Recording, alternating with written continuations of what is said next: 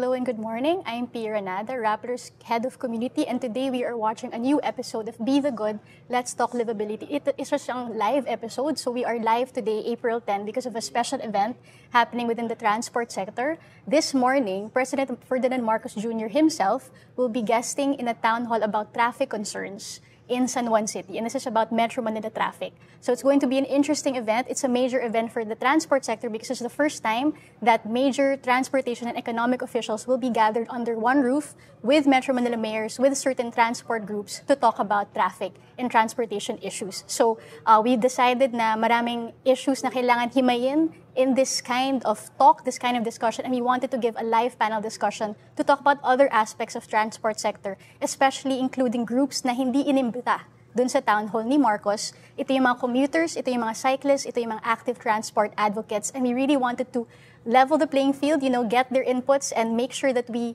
uh, hear these insights as well while we watch the town hall and listen to the government officials talk about this issue. So I'm really, really honored to have with me today uh, four guests guests, resource persons to give us insight, context into ano pa ba yung mga issues about transportation that we should know and discuss apart from what government officials are saying. So I'm going to welcome them one by one. First of all, Robbie C. from Move Us One Coalition. Welcome, Sir Robbie. You're back in the newsroom with us.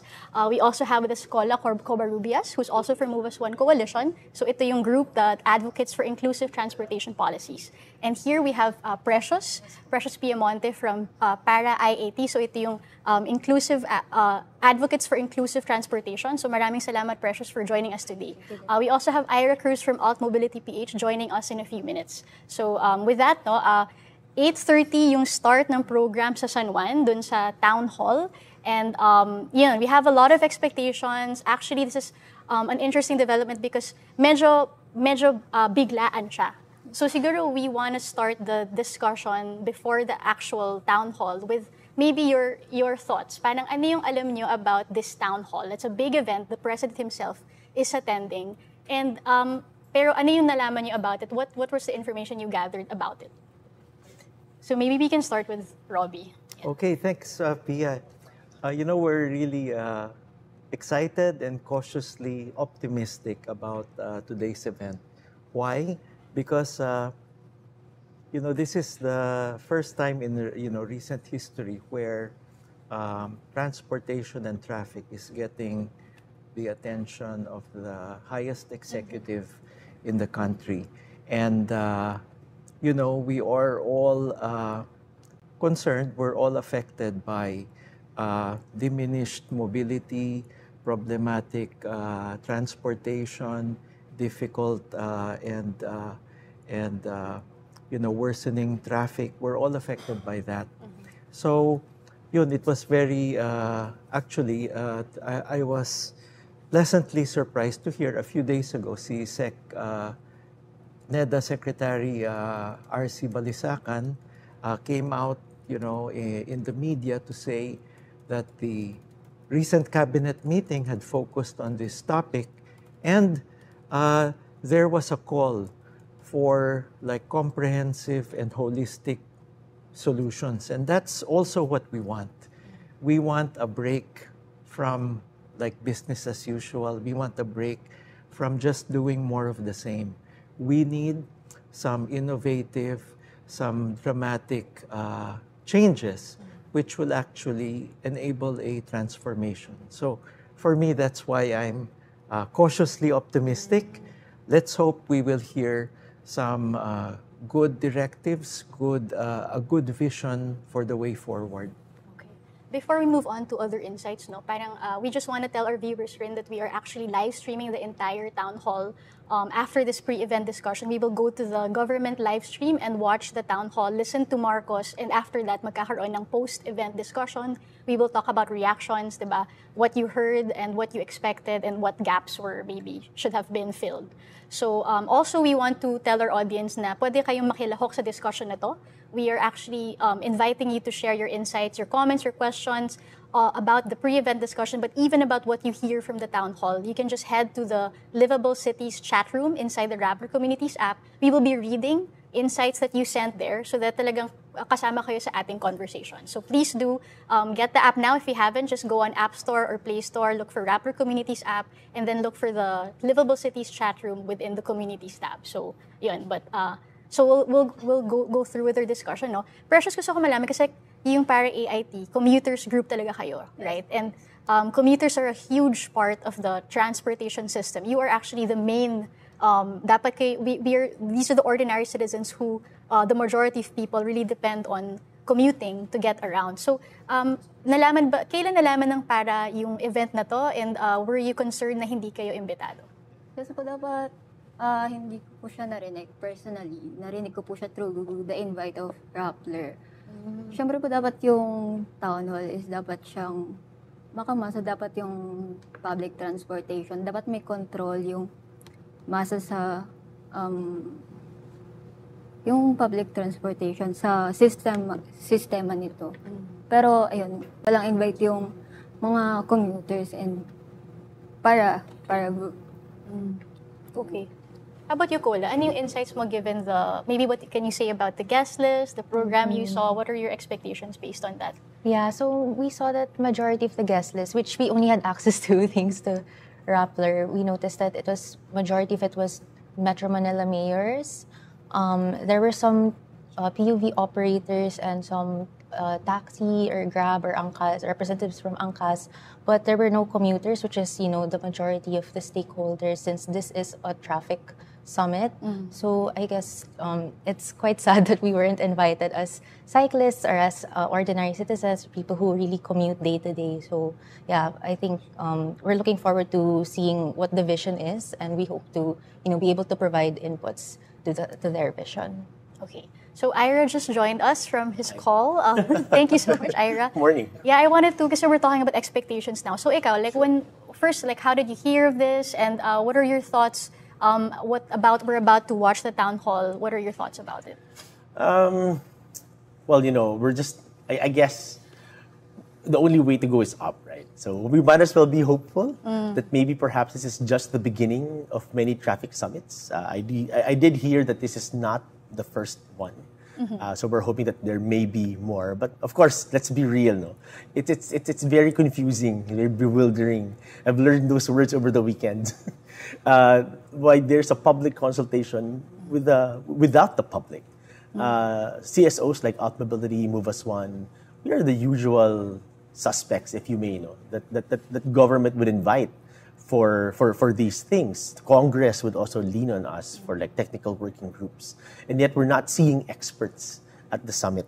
When you, when you talk about uh, a discussion and coming up with traffic solutions, uh, the format doesn't even seem to be conducive to a discussion. It seems to be one speech after the other, mm-hmm. followed, and then the president will be delivering his guidance. It's a four-hour session that seems to want to address our problems. But but but but lastly, by the name itself, it's addressing traffic. And traffic is just a symptom of a bigger problem.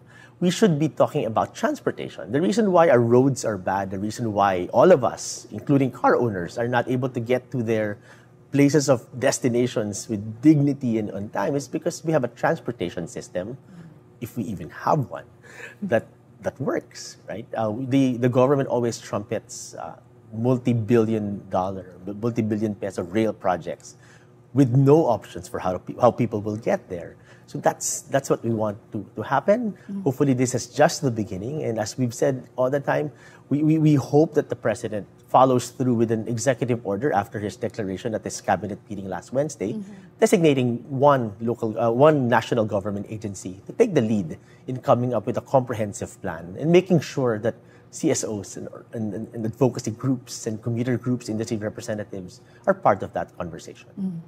So, ito yung what we know about the, the traffic town hall. No? First of all, we got wind of this through a vlog released by the president right. um, a few days ago, nung Sunday lang. And that's when um, news newsrooms started writing about it. And then yun, medyo nagtitrickle yung information about the program, sinong invited. Ah, hindi ka invited. Ah, sila invited. And then yun na nga, we hear from the narrative being woven, right, by by um, the, the articles and the, the, the messaging is that it's a public consultation. In fact, Marcos even invited the public to uh, contribute by going to the comment section. Pero hindi natin alam comment section ng alin, di ba? Like, sa RTVM stream ba yan, sa PCO Facebook. So, medyo malabo yung mechanism by which um, the town hall will be consulting the public. So, we really want to see, it's actually a challenge. For me as a journalist, what I'm waiting to see is how he will actually gather insights from the public, knowing that this is a huge public issue. Like, ordinary citizens are the biggest affected by this issue. So, that's what I'm really curious about. Yung other, yung other information na nakalap namin uh, sa Rappler is that uh, at least three officials have told us that this is an MMDA-led event. Um, that's one thing. So they were in charge of inviting, they were in charge of um, you know putting things together because uh, it makes sense. MMDA is like the coordinating body for transportation in Metro Manila. Um, yung isa pang narinig ko is that uh, this is actually um, part of a series. So if this is actually part of the Bagong Pilipinas um, events that uh, Marcos started having in January pa lang. And it was envisioned that uh, these Bagong Pilipinas events would show the face of government um, in certain issues. And uh, yung pinaka bagong iteration nito is the traffic town hall kasi daw in cabinet meetings pinag-uusapan how traffic is a huge issue, like people are really uh, wanting to know more about the solutions for it. And yun yung na, biglang naisip lang sa Malacanang na dapat may bagong Pilipinas event about traffic. So um, this is will apparently be a series. Like it's not going to stop here, is what I'm hearing. That there will be smaller town halls, but localized, like within Metro Manila. So we will see if that if that really happens. And um, you know, we also have to understand. We have to note that this is an, uh, right before an election year. 2025 is election year, and we know that we will be electing local officials. So, you know, as a journalist, I can't help but connect it to that. Uh, you know, that time of the of, of a certain of a, um, administration na midterm, di ba? Parang reaching out. That's where we see a lot of these events, reaching out and featuring certain government officials. But we will see, di ba? We will really watch the town hall kung ano yung mangyayari. So siguro, no, before, because 8.30 nga yung start ng program, but we really wanted to set the tone. Like, sa perspective nyo, within the advocacies you, you uh, pursue, ano yung state of transportation ngayon in the Philippines, but maybe we can also zoom into Metro Manila? what are the problems that have to be addressed and what is, are the systemic gaps that you've been seeing? Sige, I'll start. Go on. Actually, kicking off from the vlog of the president last Sunday, you know, that's vlog 257, I think. I've only watched one. Um, he mentioned, uh, and this is to me an, an alarming statement, no? because he subscribes to the notion that Metro Manila is congested. Uh, and he's blaming that notion for why transportation and mobility is bad. Uh, but if you look at Metro Manila, it, the same way that you look at streets, it's not really congested. It's just bad planning. Uh, we have a lot of low occupancy housing. We have a lot of golf courses in Metro Manila, and a lot of other examples, no, uh, where you're not efficiently using urban space. Uh, so, so, so, and, and, and, and he, what he's trying to say is that he wants to develop Bulacan, Pampanga, Cavite, and Laguna. So while there is nothing wrong uh, with developing cities outside of Metro Manila, uh, what, I'm, what, what, I, what I want them to be cautious about is that redevelopment of cities outside of the city is not the solution.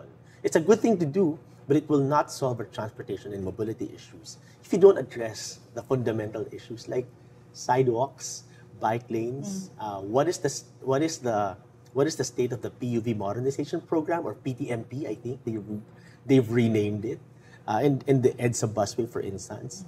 Uh, so I think those are that's the first thing. No, number two, he points to discipline as the problem for for for transportation. No? and MMDA loves harping on this by sharing videos of people crossing the street, uh, e-trikes running on South Superhighway, etc., etc. No? So it's I, I think if you look at the state of traffic in Metro Manila, it's as messy as the government's organization of their thoughts in terms of how they would like to to, to, to, to address it. Uh, as a member of the civil of, of civil society, uh, we've heard often that uh, that national government agencies have conflicting policies. There is not one government agency that we can that, that we can account for for all of our problems. They often just going back to this traffic summit, when you ask the OTR, they'll say MMDA, and MMDA will point to the palace. So it's it's it's the same type of it's the same type of, of, of characteristic of passing the ball to each other, which is why we have a problem. We don't know who the coach is. We don't know who to blame. We don't know who to follow up on. And I think that's step number one. You need to figure out who's in charge of, of transportation, making sure that everybody lines up behind that uh, agency. Any thoughts? Yeah. Yeah. Maybe I can just, uh, you know, uh, underscore a key point that uh, Ira made. When you talk about the state of mobility, we need to look also at the state of our policies and institutions. And, you know, one really big gap is we have policies that say the right things, that intend, you know, very good measures. For example, the National Transport Policy and even the Philippine Development Plan 2023 to 2028. They both say we need to prioritize public transport, pedestrians, and cyclists. Very clear. And they also they also say we need to give lower priority to private motor vehicles. But this is we have yet to see any evidence that this is being given real meaning by any government agency. So, what I'd like to hear today is somehow the president will say, let's implement these very important policies because already the experts have, have told us this is what our country needs to do. And this is the evidence from all over the world. We have to prioritize public transport, walking, and cycling, and improve the conditions for everyone so that they will not feel compelled to just go out and use or buy a private motor vehicle like a motorcycle or a car. Yun. So that's my thought there. Precious bilang commuter, ano yung gusto mong marinig ngayon dun sa town hall? Uh, gusto ko marinig ngayon yung pagbibigay importansya sa public service sa public transportation. Kasi, yun po yung kailangan yan. Tapos, dapat po hindi ito maging profit lamang. Kasi, like for example, yung sa uh, PUMP, di ba? Parang nakikita natin more on profit. Pag um, pagpapasok ng mga malalaking kumpanya dito sa Pilipinas at pagbibigay ng ng pagpapautang ng mga malalaking banks. Tapos, sobrang daming issue na kumakalap ngayon, lalo ngayong April. Nito lang nakaraan yung pagsasara ng PNR, di ba? So, sobrang hirap para sa commuter na mawala ng affordable at sobrang efficient na public transport. So, ayun, kailangan natin ng public service na transportation, not profit. Actually, dun sa ilang remarks ni Marcos about transportation, he mentioned na kailangan i-promote yung intermodal transportation. And as a commuter, I felt promising yun na kailangan hindi lang parang mag-invest sa isang kla- klaseng transportation but understanding that it works as a system na kailangan yung last mile, pag maglalakad si commuter sa jeepney, dapat yung jeepney na yun pupunta talaga dun sa mismong train station na gagamitin niya para makapunta dun sa office niya, na kailangan interrelated siya. Pati yung Pasig River, Pasig Ferry system, kailangan integrated as a whole. I mean, that's what I'm envisioning as an intermodal transportation system. So, um, any thoughts kung ano yung, ano yung wishlist niyo na dapat banggitin, i-take up dun sa town hall if we are going for this vision of an intermodal transportation system? Cola, maybe you have thoughts. Yeah, um, I love this question as an intermodal commuter. So, Yeah. um, just for context, I, I am primarily bike commuter, but then I also bring my bike is a folding bike, so I also bring it. I used to bring it on the LRT and MRT when I was still studying university, but now that I'm based um, back home, I still bike, but I also bring it on the P2P bus. So very intermodal. Like I, for example, I bike from my house to the terminal, and then I take the bus, which takes me to Makati, and then from Makati, um, I, I get off at the terminal, and then I bike to my end destination. So it's really important that the first mile and the last mile connectivity is there. I think my wish list primarily is for these terminals. So, for example, the LRT or the MRT or these bus terminals um, have proper bike racks or proper bike infrastructure, those things are really important. For example, working elevators. Um, there was a time in the MRT when I brought my folding bike, but the elevator was not working. So you could imagine I had to, you know, workout. Yeah, I, it, it was an arm workout talaga.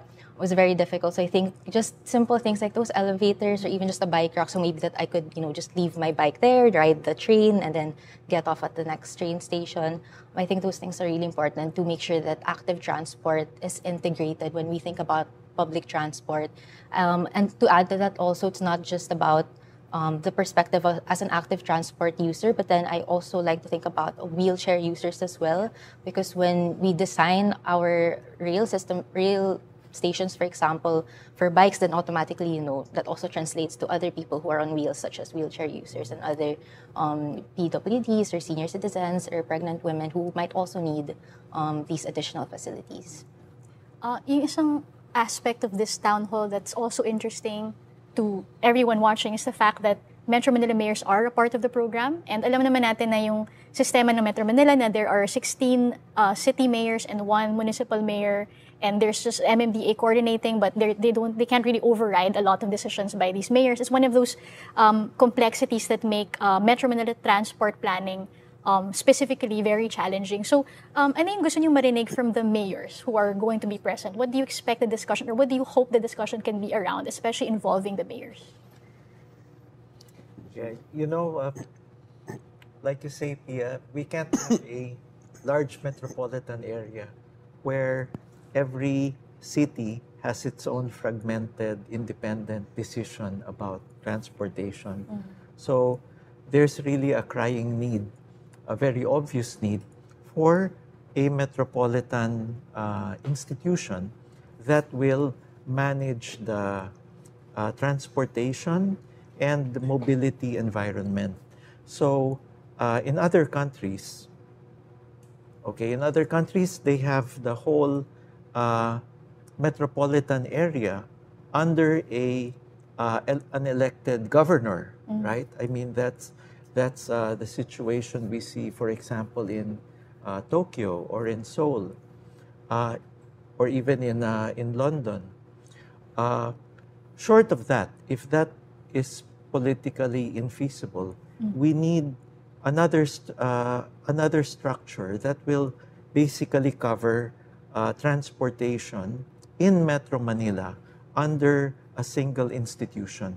Of course, it could report to uh, the mayors still, but we need a like a unified institution that will cover that. Okay. Other thoughts, like especially itong tug of war sometimes between mayors and MMDA. No, that's true. It's actually, you know, it, you've always wondered because the MMDA has always issued policies that, that, that sometimes seem to be optional for some for, for some local governments. No, I think some of the policies of MMDA, while in the case of heat strikes, I guess it's a good thing, uh, it is not does not seem to have uh, a binding effect on on, uh, on on the local government units. And and, and, and, and I do agree with, with, with Robbie that, that there is a need for there to be a, a centralized body that would manage traffic. You know? I mean, in, in preparation for my other discussion earlier and yesterday, I was actually going over some of the policies of MMDA over the years, uh, such as mm. they were, I remember at some point they were banning provincial buses on EDSA. Uh, they are the, the, the, major promoter of elevated pedestrian crossings. They have number coding, which actually spurred the growth of more car, of more private cars. Uh, they wanted bus terminals. They, they, they disallowed bus terminals from coming out on EDSA. They blocked efforts on bike lanes.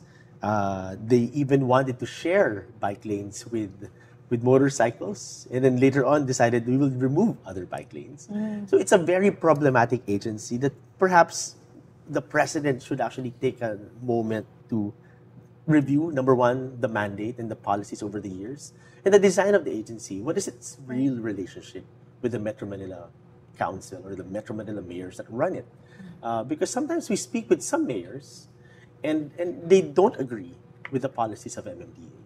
Uh, and yet MMDA pushes on and issues a resolution that they're saying they, they did not have wanted, they, they would not have wanted to sign. Uh, but because it was political, mm. they had to sign it.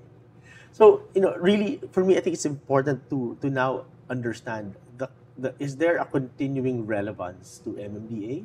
And should it be replaced? Should it be replaced by or broken down for instance, like MMDA still fulfills functions like flood control and waste management. Perhaps that could be spun off to a different agency or sub subsume other existing ones, and then really come up with an agency that would talk about transportation, Maybe MMDA could even be the house of the Commuter Affairs Office that would take charge of, uh, of commuter affairs in general.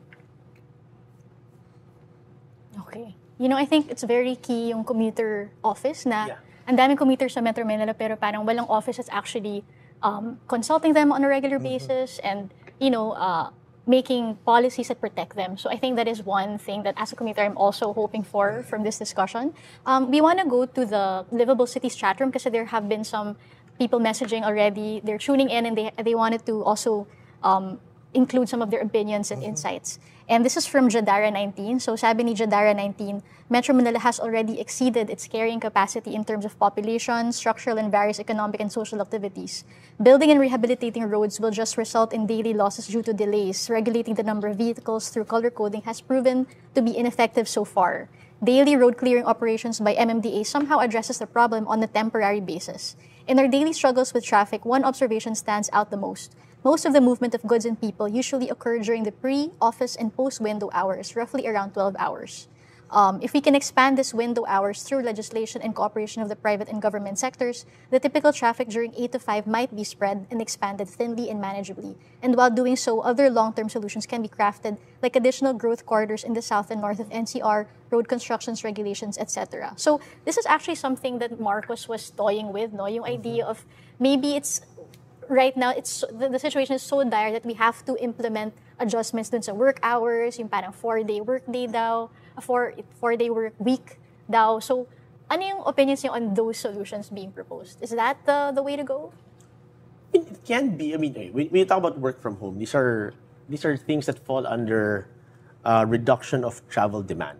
I think that's a concept that we talk about in transport planning, and that's okay. It's okay for you to implement things like work from home or any other arrangement, for instance. no? But uh, but we do know that it's not applicable to everybody, to all jobs, right? Think about a janitor or a, or a, how, how do you work? How do you work from home as a janitor?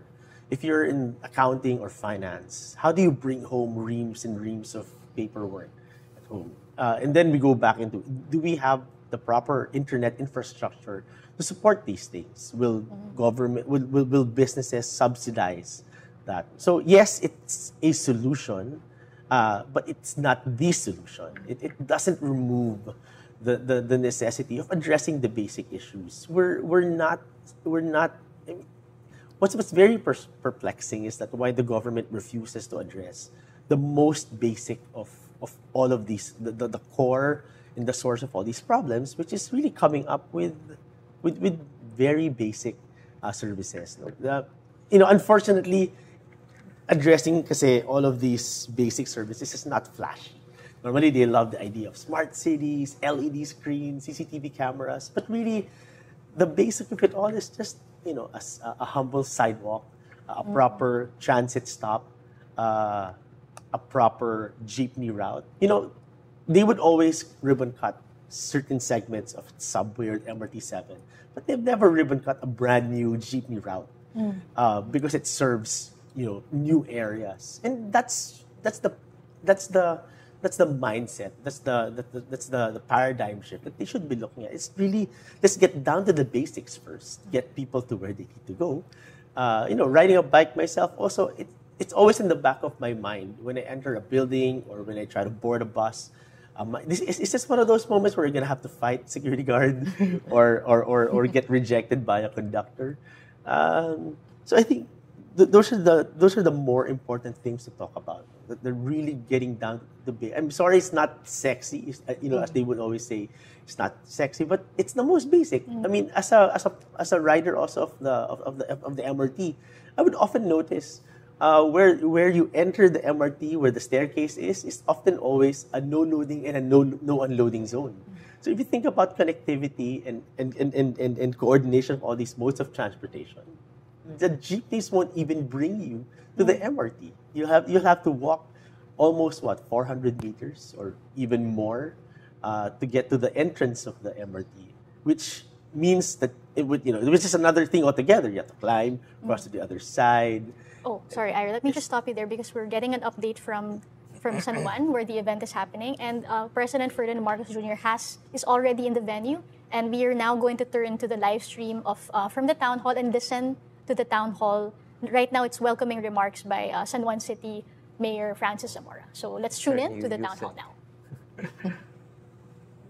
Pangulo, sa buong suporta ng mga mayors ng NCR at ng mga kasama natin sa mga nasabing konseho, sa ating layuning gawing mas maginhawa para sa mga minamahal nating Pilipino, ganon din para sa mga bumibisita sa ating bansa, ang pagbabiyahe sa mga kalsada ng Metro Manila.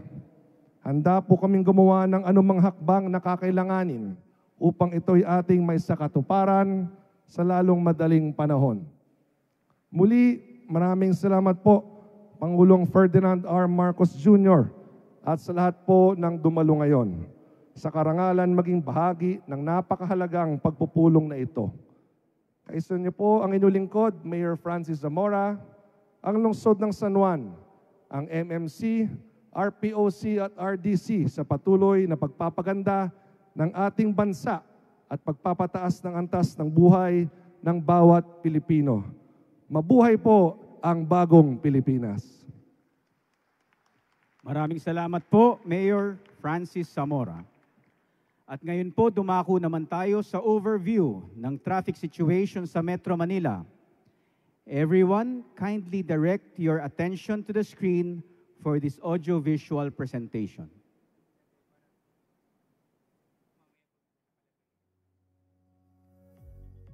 The Metropolitan Manila Development Authority presents the traffic situation in Metro Manila.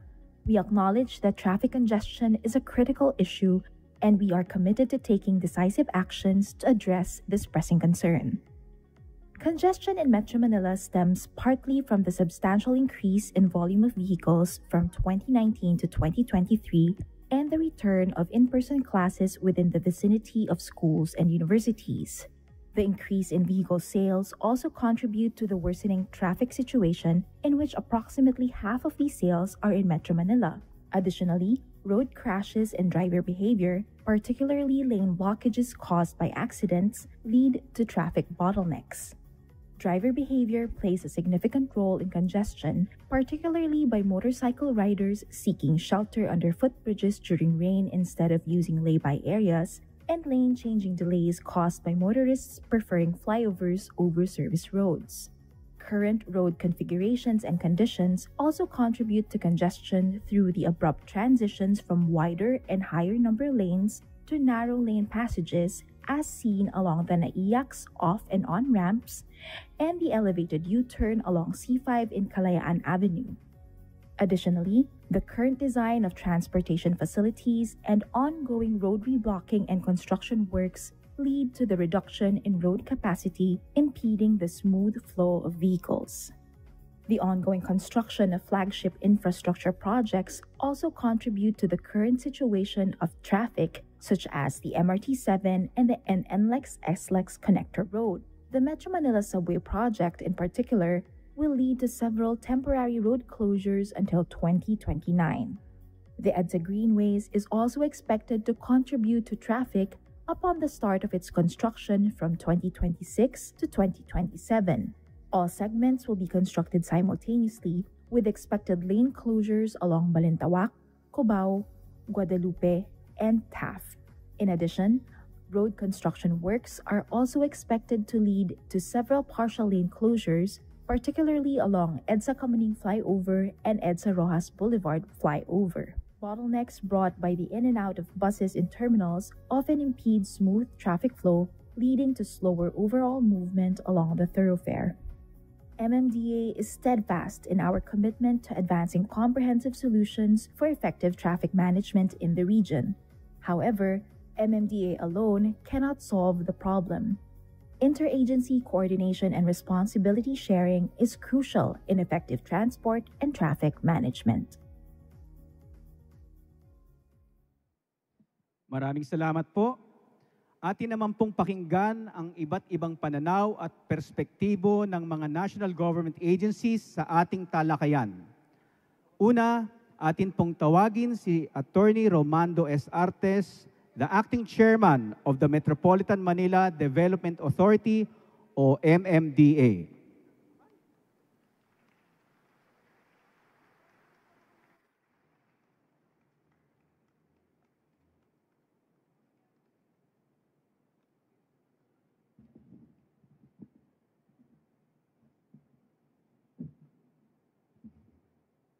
Ating pong Pangulo, ah, Ferdinand Marcos Jr., sa ating pong lahat, magandang umaga po. Ang E- MMDA ang pangunahing ahensya ng pamahalaan para mag-manage ng traffic sa Kamaynilaan. Kasama ang ibang ahensya, kami ay nagtutulong-tulong para mabawasan ang traffic sa Metro Manila. Pangunahin dito ang patuloy na ugnayan sa DPWH sa kanilang proyekto sa paggawa ng mga kalsada at tulay. Sa DOTR naman, sa mga programa regarding transportation.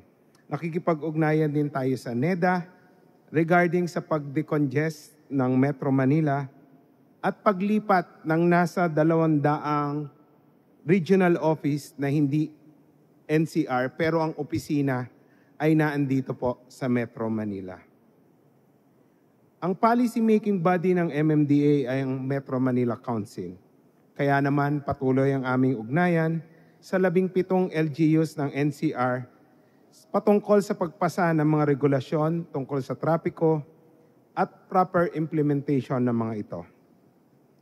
Ganon din tayo ay nakikipagtulungan sa pribadong sektor para mabawasan ang traffic at mag-isip ng pamamaraan tulad ng ginawang zipper lane sa Katipunan na nagpaluwag at nagpabilis ng daloy ng trapiko. Tayo ay nakikipagtulungan din sa mga toll road operators at iba pang kumpanya sa pribadong sektor para mabawasan ang traffic palabas ng Metro Manila. Pag hiningi po ang tulong natin sa pagmamanage ng traffic sa malalaking events tulad ng FIBA World Cup, ay kagad tayong tumutugon at maganda pa naman po ang nagiging resulta. Sa implementasyon naman po ng projects ng private sector, ang MMDA po ay tumutulong sa paggawa ng traffic management plan para ito po ay hindi makaabala masyado sa traffic. Ang MMDA din po ay nagpapatupad ng mga polisiya na naglalayon na maiayos ang traffic sa Metro Manila. Una na dyan po ang pagpasa ng single ticketing system na after 28 years po simula nung ito ay iamandato sa MMDA ay naipasa po at yan po ay nangyari sa termino ng ating Pangulong Bongbong Marcos. Nagbigay din po tayo ng mga body-worn cameras na connected na po sa ating command center para may street level view, real-time, sa lagay ng traffic sa lansangan. Marami din tayong programa na nag-intensify ng road clearing operations kasama po ang DILG, DOTR at iba pa pong mga ahensya para po mawala ang mga nakaharang sa karsada. Bumili rin po tayo ng malalaking tow trucks dahil po pag nagkakaroon ng aksidente involving mga malalaking trucks ay hindi po kaagad maalis dahil sila po ay mabigat. Kaya po tayo ay nag-procure ng dalawang heavy duty na tow trucks na may kapasidad na humila ng kahit 50 tons. Patuloy rin po ang pagbibigay natin ng kaalaman sa ating mga mamamayan. Kasama na po dyan ang mga bata na tinuturuan po ng traffic rules and regulation at disiplina sa paggamit ng karsada sa pamamagitan po ng MMDA's Children's Road Safety Park. Sa mga nagmumotor naman po, meron po tayong Motorcycle Riding Academy in partnership din po sa iba't ibang ah, pribadong kumpanya para magturo ng disiplina sa paggamit sa daan ng mga nagmumotorsiklo.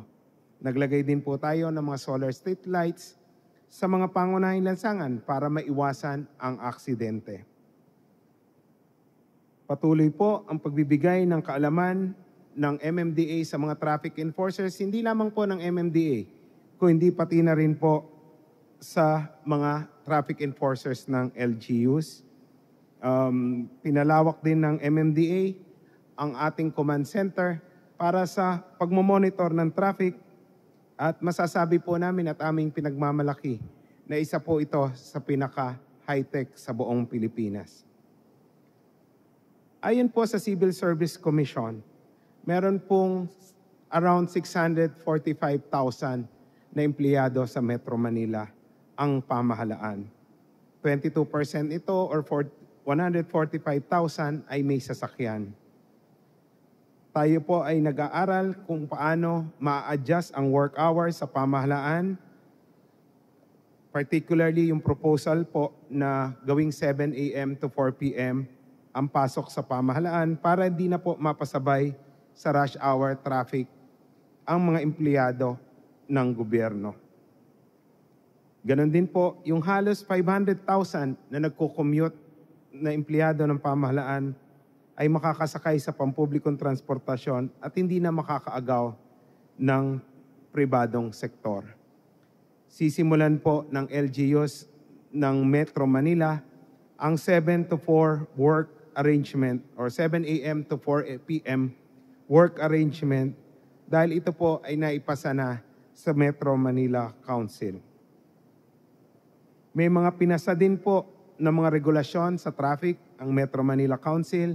Nandito po ang ating mga butihing mayors. Ako po ay nagpapasalamat sa kanila dahil sa tulong po nila na ipasa po ang mga resolusyon sa pagbabawal sa e-trike at iba pang trans- mode of transportation sa major roads, pagtataas ng multa sa illegal na paggamit ng busway, increased penalty para sa illegal parking, at paglalagay ng exclusive motorcycle lane sa Commonwealth na atin na pong inaaral din na palawigin at gawin pa sa ibang pangunahing lansangan.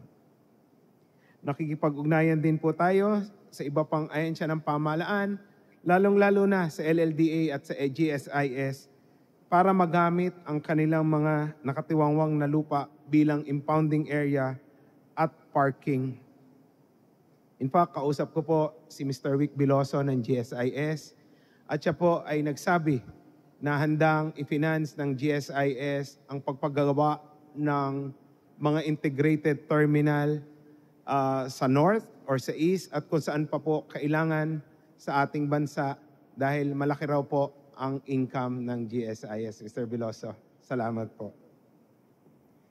Pinag-aaralan din po ang paglalatag ng mas marami pang mabuhay lanes para may magamit na alternatibong daan ang ating mga kababayan at hindi po magsiksikan sa EDSA at C5.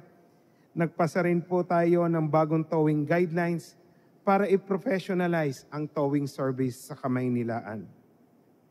Pinag-aaralan din po, katulong ng DOTR, ang paglalagay ng bike lanes sa mga iba pang karsada para sa active mobility, Bumili din po ang MMDA ng Mobile Command Center para sa agarang deployment kung kinakailangan.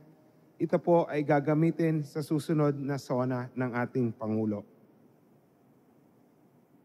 Nag-procure din po ang MMDA ng collapsible barrier. Alam naman po natin, pag merong aksidente, yan po ay tinitingnan ng mga motorista na nagpapabagal ng traffic. Haharangan po natin yung uh, accident sites nito pong ating barrier para maiwasan po yung mga osisero at para po hindi makaabala sa traffic. Uh, nakikipag-ugnayan din po tayo sa Insurance Commission para po mas mapabilis yung proseso ng paggawa ng police report um, dahil yan po ay nakakabagal din sa pag-aalis ng mga nag-aakbanggaan, sa mga aksidente, dahil po kailangan pang tumawag ng kapulisan para po um, mag-imbestiga at gumawa ng police report. Pasisim, i-request po natin na simplihan yung proseso para po kaagarang maalis yung mga sasakyan na involved sa aksidente.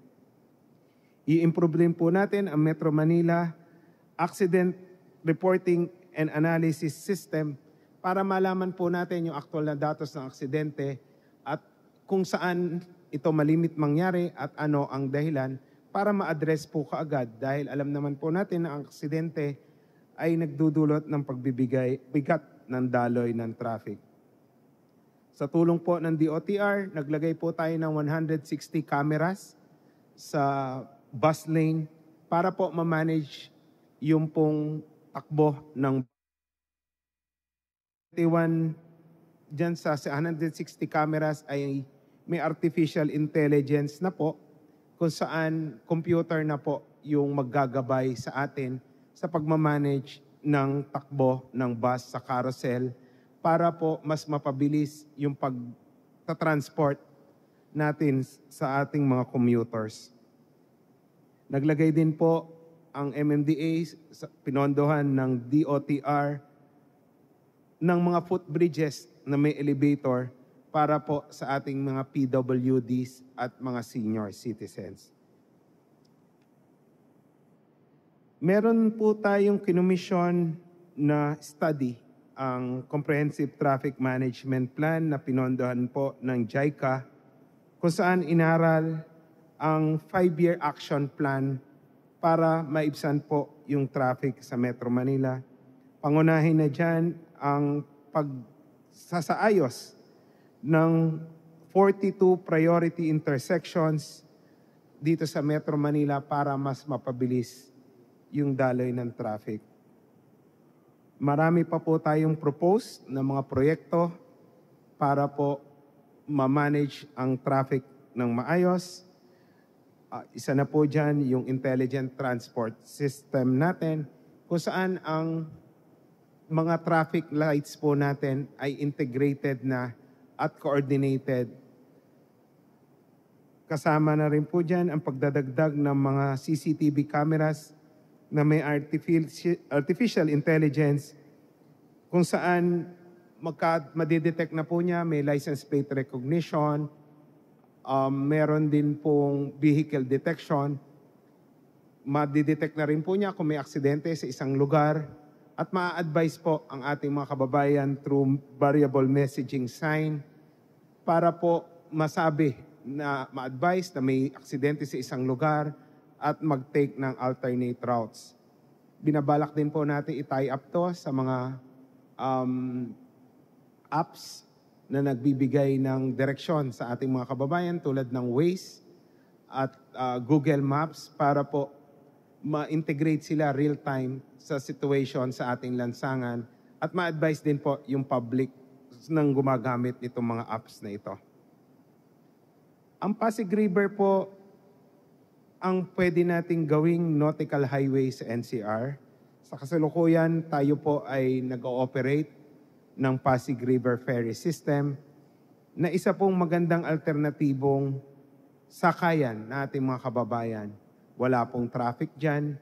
Um, at mabilis naman po. At ang Ilog Pasig naman ay medyo may, malinis na at patuloy pong nililinis i-improve po natin ang Pasig Ferry Service sa pamamagitan ng pagbili ng mas maraming bangka at magtayo ng iba pang stations.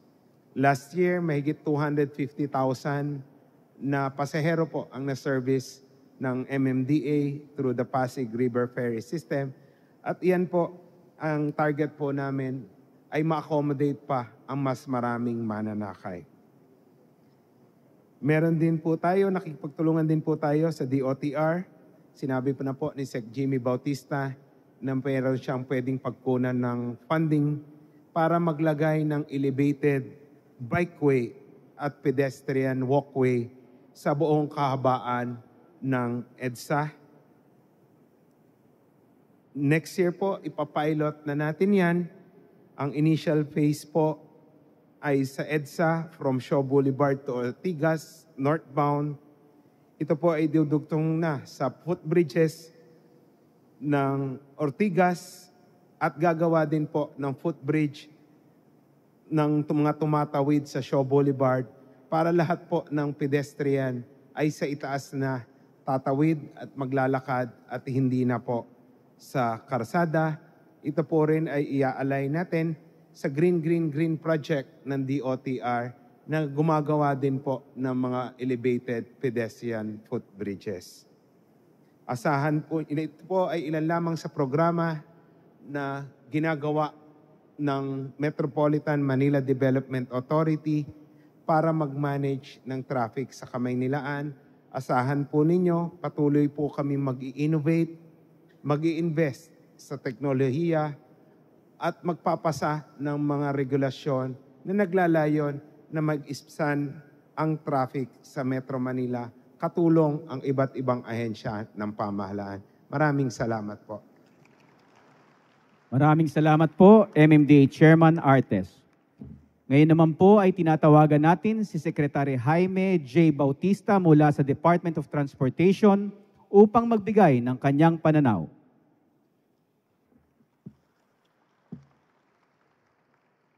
Your Excellency, President Ferdinand R. Marcos Jr., ladies and gentlemen, good morning.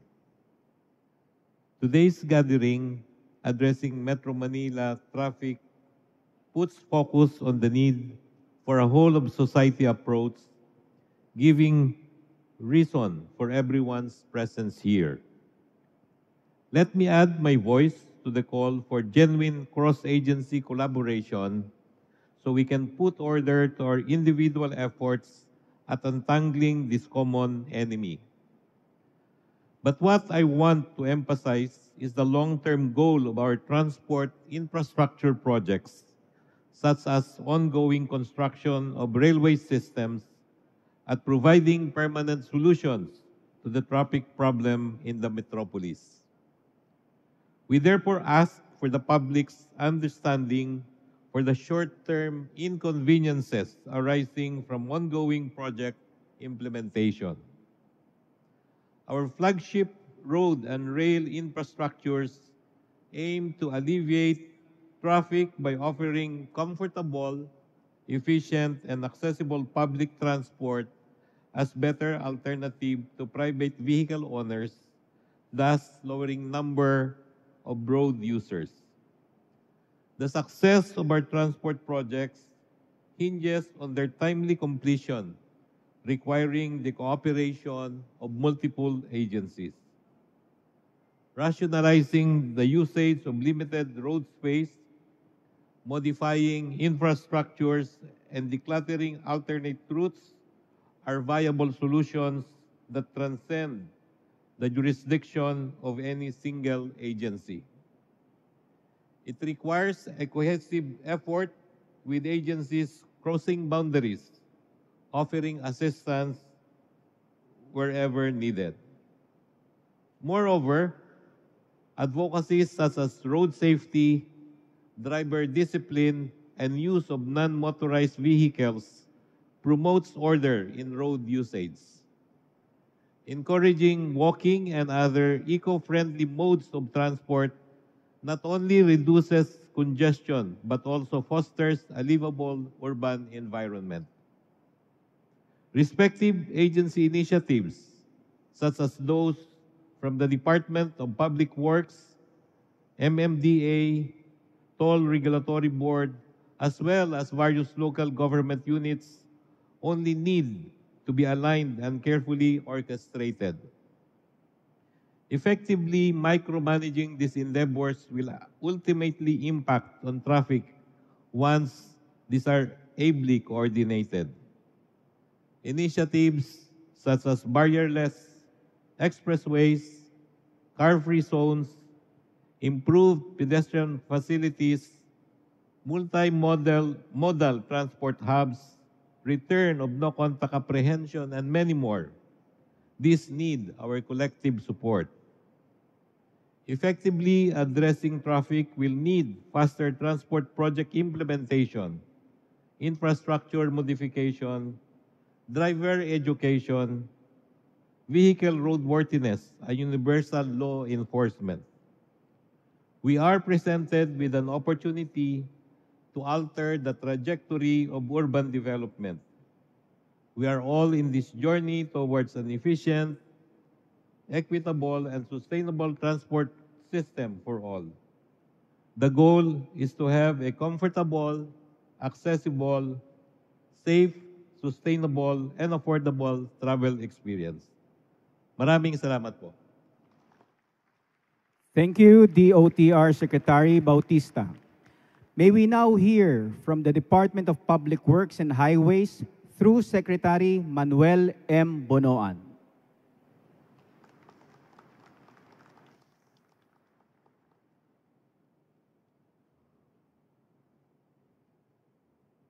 Thank you. Thank you very much. President uh, Ferdinand R. Marcos Jr., uh, ladies and gentlemen, good morning po.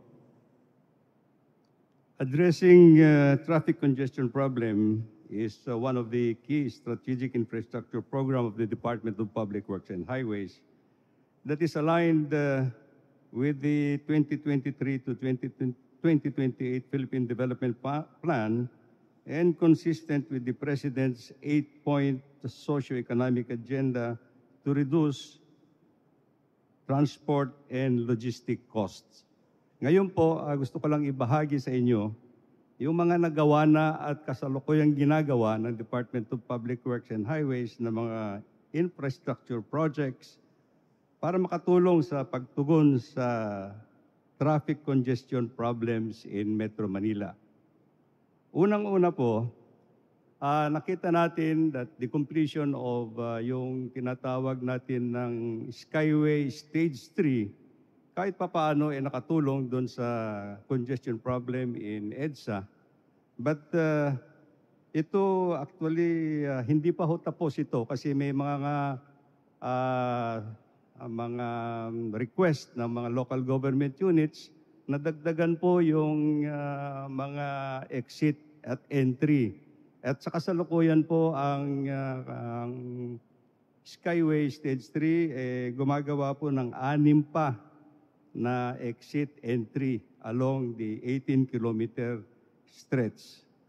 Ah, ito makakatulong din po sa mas madaling pag ah, pasok ng mga local traffic ah, dito sa Stage 3, ah, Skyway Stage 3 project. Another, isa pa hong um, ah, elevated expressway na ginagawa po ngayon dito is actually yung NLEX, uh, SLEX Connector Road mula Caloocan hanggang dito rin, dudugtong din po dito sa may Skyway Stage 3 sa Plaza Dilao. Ito ay 95% na po and ito ay kasalukuyan ginagawa na po yung dugtungan para magkaroon na po ng complete loop from Caloocan to Manila at iikot na po sa Central ah, Central Metro Manila. Ito po siguro makakatulong din po sa pagtugon sa traffic corridor, particularly dito po sa Western Corridor ng Metro Manila.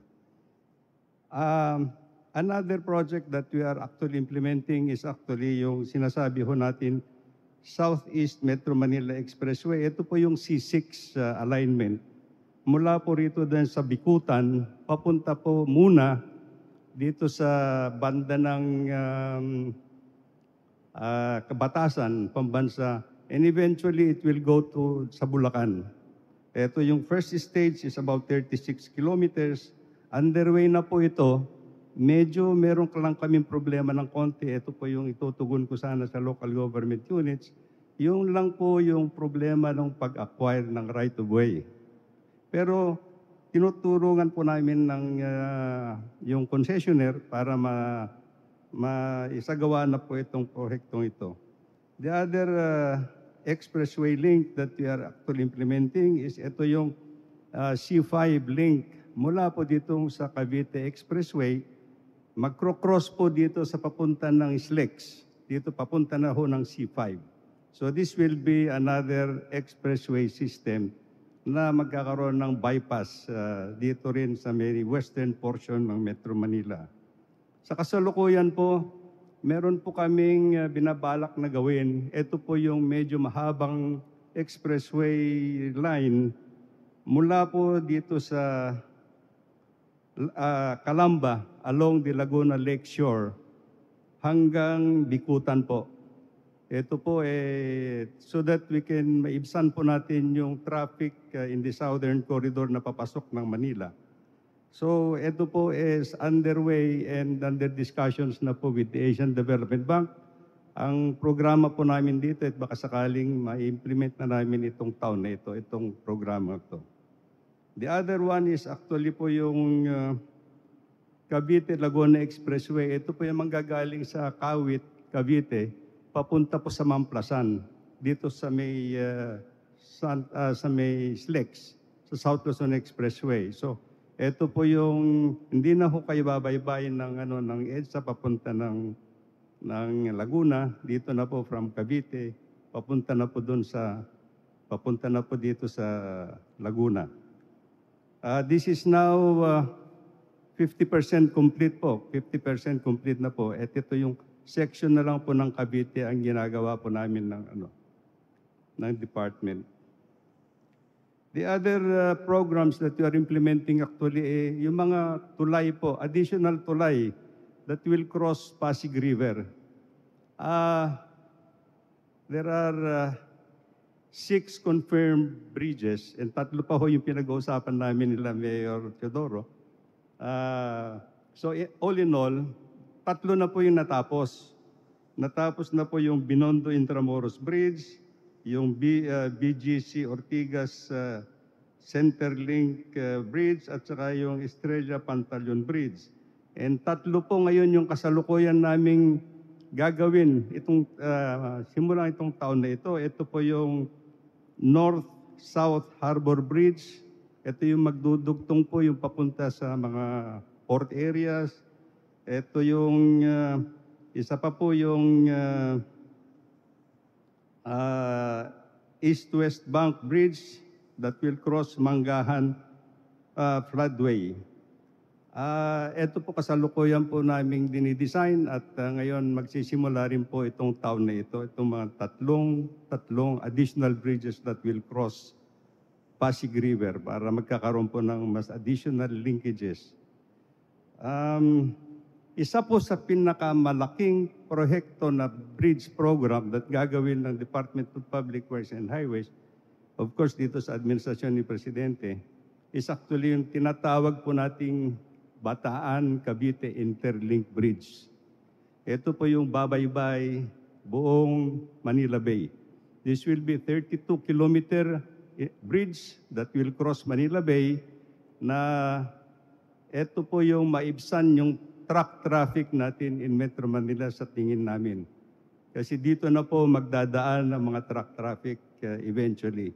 And this will be uh, starting this year magkakaroon na po kami ng initial bidding. This will be financed by the Asian Development Bank.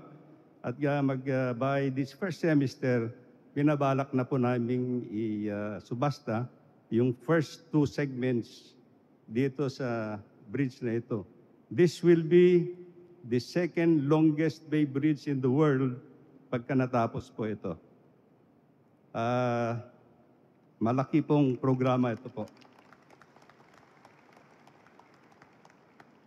Um, again, in Metro Manila po, meron po kami yung programa that will address yung transport, natawag po namin Transport Road and Bridge Rehabilitation Project along EDSA. Ang ibig po namin sabihin dito, unang-una po, uh, sa, uh, sa utos din nating presidente, kailangan ho natin ma-improve yung riding quality ng EDSA. Kasi medyo matagal na po yung uh, pavement ng EDSA.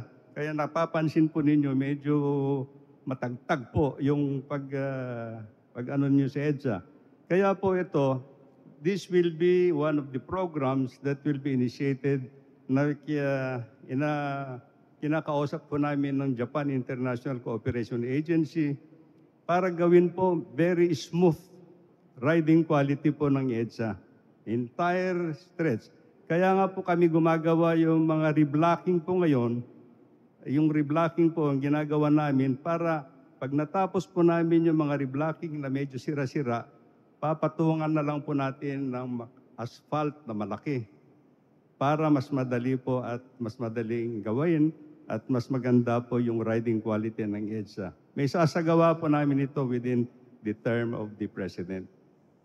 At saka po yung uh, kailangan po nating gawin po yung seismic interventions dito sa Guadalupe Bridge.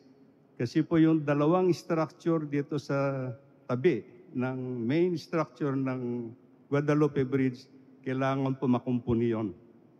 Uh, ganun din po sa Lambingan Bridge. May sasagawa, may start po namin itong taon nito. Ito lang po yung medyo kasalukuyang ginagawa namin at uh, hinahanda namin yung additional projects and, pro- and programs that will come out with the interagency collaboration na inotos na ating Presidente para tignan natin lahat sa kabuuan kung paano natin masolusyonan ang traffic ng Metro Manila. Maraming salamat po. Thank you, DPWH Secretary Bonoan. And now from the National Economic and Development Authority, may we call on Secretary Arsenio M. Balisacan.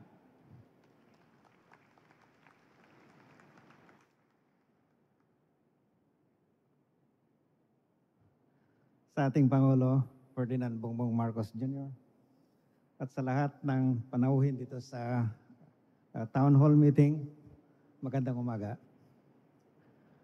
Ayon sa ating Pangulo, hindi malulutas ang problema ng trapiko sa Metro Manila sa pamamagitan ng piecemeal or patse-patseng in, in, in, inisyatibo.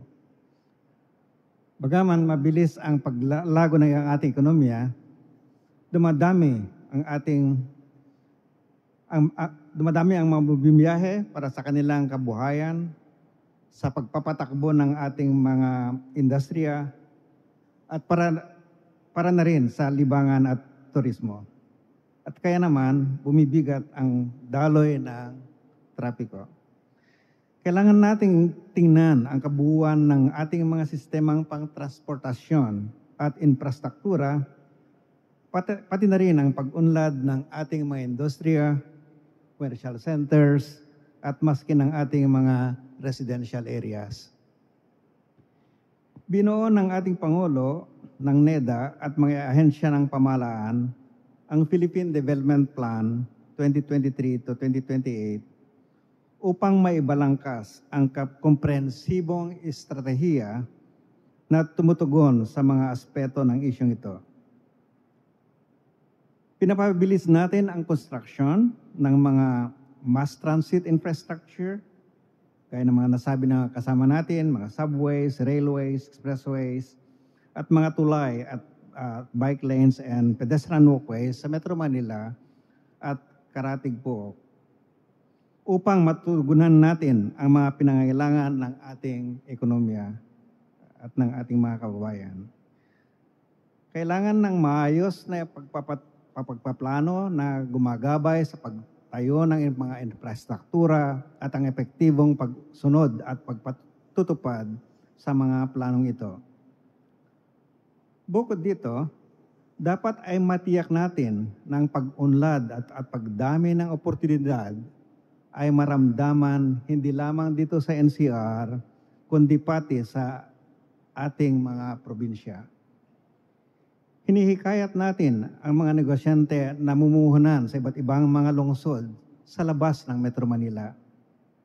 Sinusuportahan natin ang pag-unlad ng mga karatig probinsya, Bulacan, Cavite, Laguna at Batangas, at mga regional centers tulad ng Clark at Pampanga, Lawag, Metro Cebu, Metro Davao, Cagayan de Oro, Iloilo, Bacolod, General Santos, at iba pa.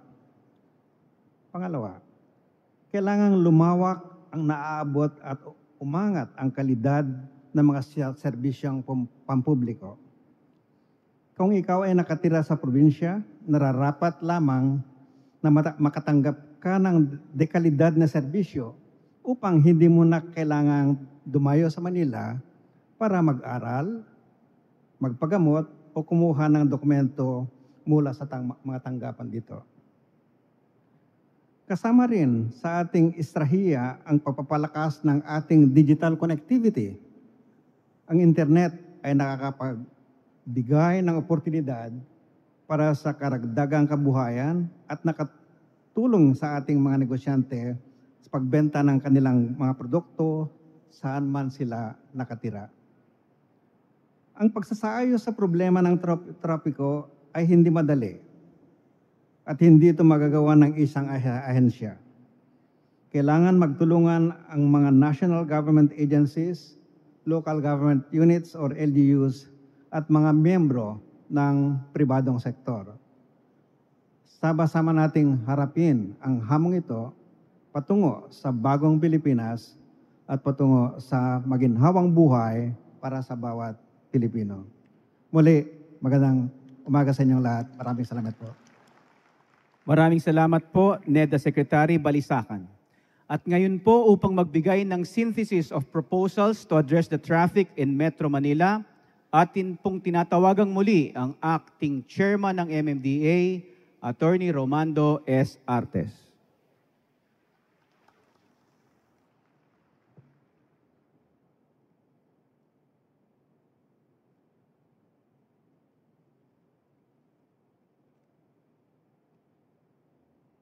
Muli, magandang umaga po sa ating lahat.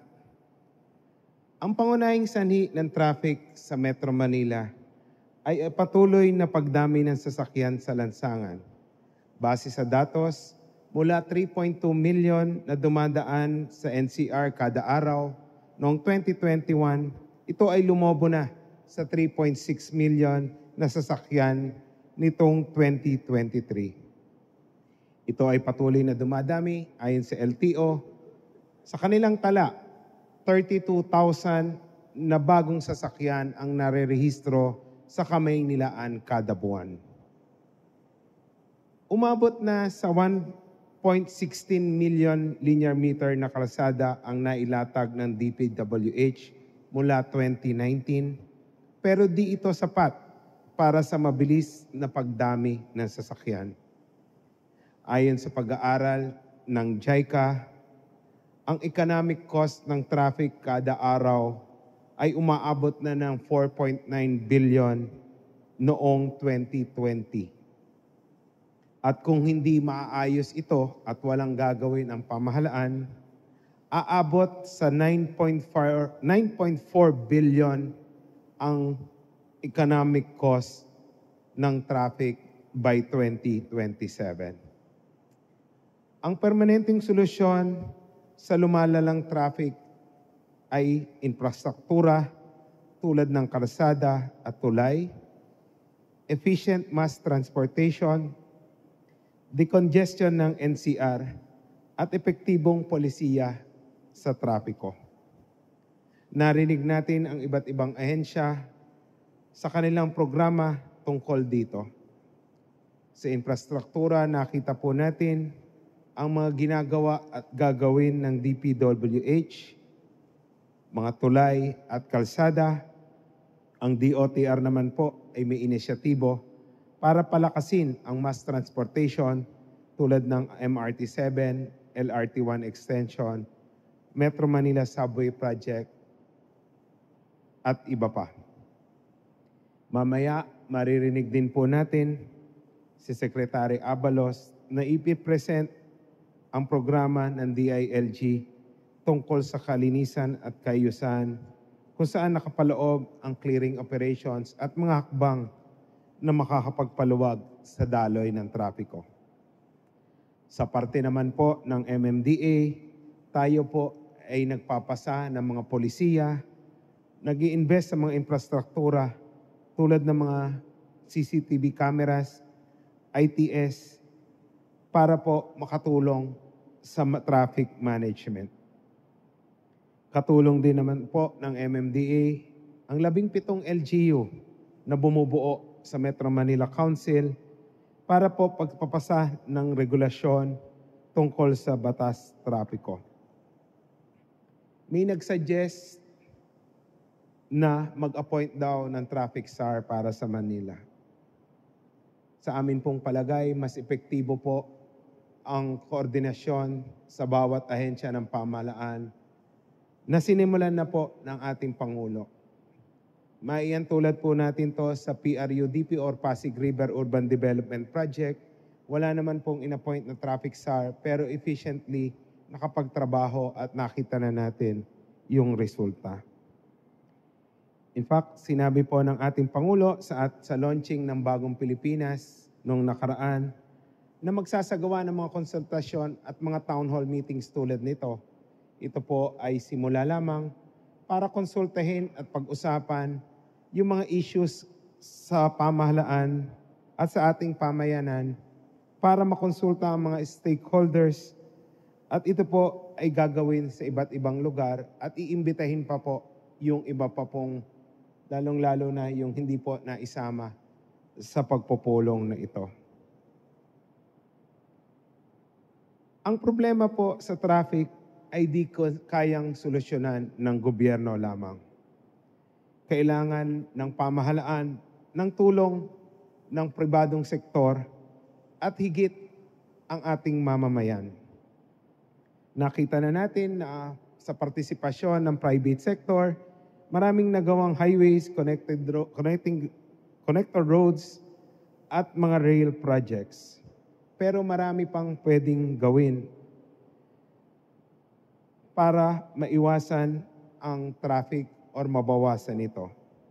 Isa na po yung binanggit ni Secretary Bautista kanina na pagpapasaayos ng RFID system sa mga tollways natin para mas mapabilis yung daloy ng traffic, yung micromanaging ng traffic pag may events through coordination, dapat po pagtulong-tulungan para hindi mag-cause ng traffic tulad po ng ginawa natin sa FIBA World Cup para maiwasan yung traffic na naganap sa concert ni Bruno Mars at ng Coldplay.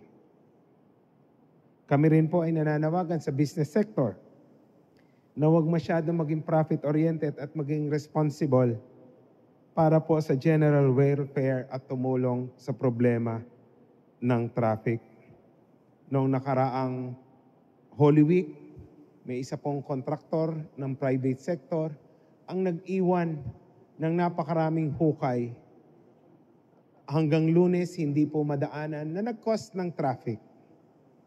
Ganon din, yung mga hindi na po roadworthy cars, sana po ay palitan na natin or at least iayos naman. At higit sa lahat, yung pagsunod sa approved traffic management plan ng mga infra, infrastructure at other projects na nagdudulot ng traffic. Ang bawat mamamayan ay may pananagutan at responsibilidad sa paglutas ng traffic. Dapat po tayong lahat ay mag-ambag tungo sa pagsolusyon sa traffic. Ang pagtatapon po ng basura kung saan-saan ay nagiging sanhi ng pagbaha na may kaukulang pagbigat ng daloy ng traffic. Ang mga pedestrians po ay dapat tumawid sa tamang daan, maging disiplinado at magbigayan sa daan. Huwag po dapat nating harangan ang sidewalk. Huwag mag-park, lalong-lalo na sa mabuhay lanes. At pag umuulan sa atin pong nagmumotor, sana po huwag pumarada sa ilalim ng tulay at magpatila dahil ito po ay delikado at nakakapagpabigat ng daloy ng traffic. Sa amin pong tala, pag merong, or sa pag-aaral ng JICA, pag meron pong nagbanggaan or nag-stall na vehicle, at ito po ay hindi na alis sa loob ng 30 minuto, ito po ay nagkikreate ng, four, ng 2.5 kilometers na traffic at nagre-require ng 42 minutes bago maalis. Lahat tayo ay epektado ng traffic. Kaya naman dapat tayong magtulungan. Lahat ay dapat magsama-sama para mabawasan ang traffic. Lahat po tayo ay may papel na dapat gampanan. Tayo ay magsama-sama, mag-ambag sa bagong Pilipinas na may disiplina, kalinisan at kaayusan. Pag nagawa po natin ito, doon lamang tayo makakahanap ng tunay na solusyon sa problema ng trapiko. Magandang umaga po at salamat po sa inyo. Maraming salamat muli, MMDA Chairman Artes. May we now invite Secretary Benjamin C. Abalos Jr. of the Department of the Interior and Local Government to discuss the kalinisan at kaayusan sa bagong Pilipinas. Kumilos tayo upang gawing maaliwalas at malinis ang ating kapaligiran. At yan po ang prinsipyong tinutulak ng Build Better More upang agaran natin marating ang bagong Pilipinas at ang mithiin nitong kaunlaran, kapayapaan, kasaganahan para sa lahat. isigaw natin na sa panahon natin, lilinisin natin ang Pilipinas at yan ang gusto ng ating mahal na Pangulo Ferdinand Bongbong Marcos Jr. sa bagong Pilipinas. Magandang umaga po, Mr. President. Magandang umaga po sa ating lahat. During the launching of the Bagong Pilipinas campaign last January, the President gave a clear directive. Sa mga barangay, ang kaayusan at kalinisan ay gawin nating tuloy-tuloy. Binigyan diin ng ating Pangulo na ang kalinisan at kaayusan sa bawat barangay ay susukatin, kikilalanin at pararangalan. Ang kautusan ng ating Pangulo ay agarang inaksyonan ng DILG at iba pang ahensya ng gobyerno at dito nabuo ang Kalinisan sa Bagong Pilipinas program. Ang Kalinisan program is a convergence initiative to consolidate all efforts of the government to maintain and provide a healthy and safe environment for all, capacitating local government units and en- en- enabling community participation anchored on community mobilization, convergence of all stakeholders, and competence and capacity of local government officials and informed public. One of the significant initiatives under the Kalinisan program is the community cleanup and the barangay road clearing initiatives. Ayon po sa ating datos, 22.7 milyong tonelada ang napoproduce sa basura kada daon. Sa National Capital Region, it produces 3.7 million tons of wastes annually. At ang ibang basura nito ay kumakalat pa sa kalye na nagiging sanhi ng trapiko. Simula nang inilunsad ang kalinisan program, umiikot po tuwing umaga, alas 5 ng umaga, sa iba't ibang panig ng Pilipinas ang ating ahensya kasamang ibang ahensya, linggo-linggo, wala pong patida to, na kung saan 21,738 barangays ang nagsagawa ng community cleanup sa buong bansa at nakapagkolekta tayo ng mahigit 28 milyong kilo ng basura. Sa ngalan naman ng kaayusan, ang DILG ay katuwang ng ating mga ahensya sa pamahalaan tumugon sa problema ng trapiko. Isa sa mga solusyon na pinag-iigting natin ay ang tinatawag nating barangay road clearing operations sa lahat ng mga pampublikong kalsada, eskinita at lansangan. Napakalaking papel po ng ating mga barangay dito, ng ating LGUs. Sa pamamagitan ng road clearing, lumuwag ang ating mga kalsada, nawawala ang mga illegal obstructions, at nakakaroon na mas malawak na daanan ng ating sasakyan. Katulad lang po, halimbawa, ginawa po ito sa Barangay Holy Spirit, na kung saan 92 na kalsada at libo-libong illegal na istruktura ang giniba. Kaya nabigyan ng alternatibong rota ang mga natatraffic sa mga daanan katulad ng Commonwealth. Maraming salamat, Barangay Captain Balmusina at Yusek Balmusina. And happy birthday sa iyo. ang DILG katuwang ang Philippine National Police at kaisa ang Department of Transportation at MMDA ay nakipagtulungan upang sagot sugpuin ang lahat ng mga kolorum na operasyon ng mga sasakyan sa mga lansangan sa Metro Manila. Inatasan po natin. Maraming salamat, PNP. Andito po ngayon si General Nartates ng NCRPO. Maraming salamat at ipinagpatuloy ang pagsasagawa at pagpapaigting sa kanilang traffic at clearing operations labang sa mga colorum vehicles. Ang single ticketing naman na isang inisyatibo ng DILG at MMDA, actually nakamask pa ho ako niyan eh, may COVID pa yata noon, no? na magkaroon ng isang paninikit ang buong 17 LGUs at pare-pareho multa. Maraming salamat mga mayors ng Metro Manila. Malugod ko pong binabalita ngayon, Mr. President, na ito'y nakaabot na outside of the National Capital Region. Katulad po ng pinirmahan na Memorandum of Agreement ng Bacoor, of course, at ng LTO, na kung saan ang connectivity nito ay isasama na ang lungsod ng Bacoor sa single ticketing. Patuloy po nating hihikayating ang ibang mga lokal na pamalaan upang i-adapt sa kanilang mga lugar ang ganitong sistema.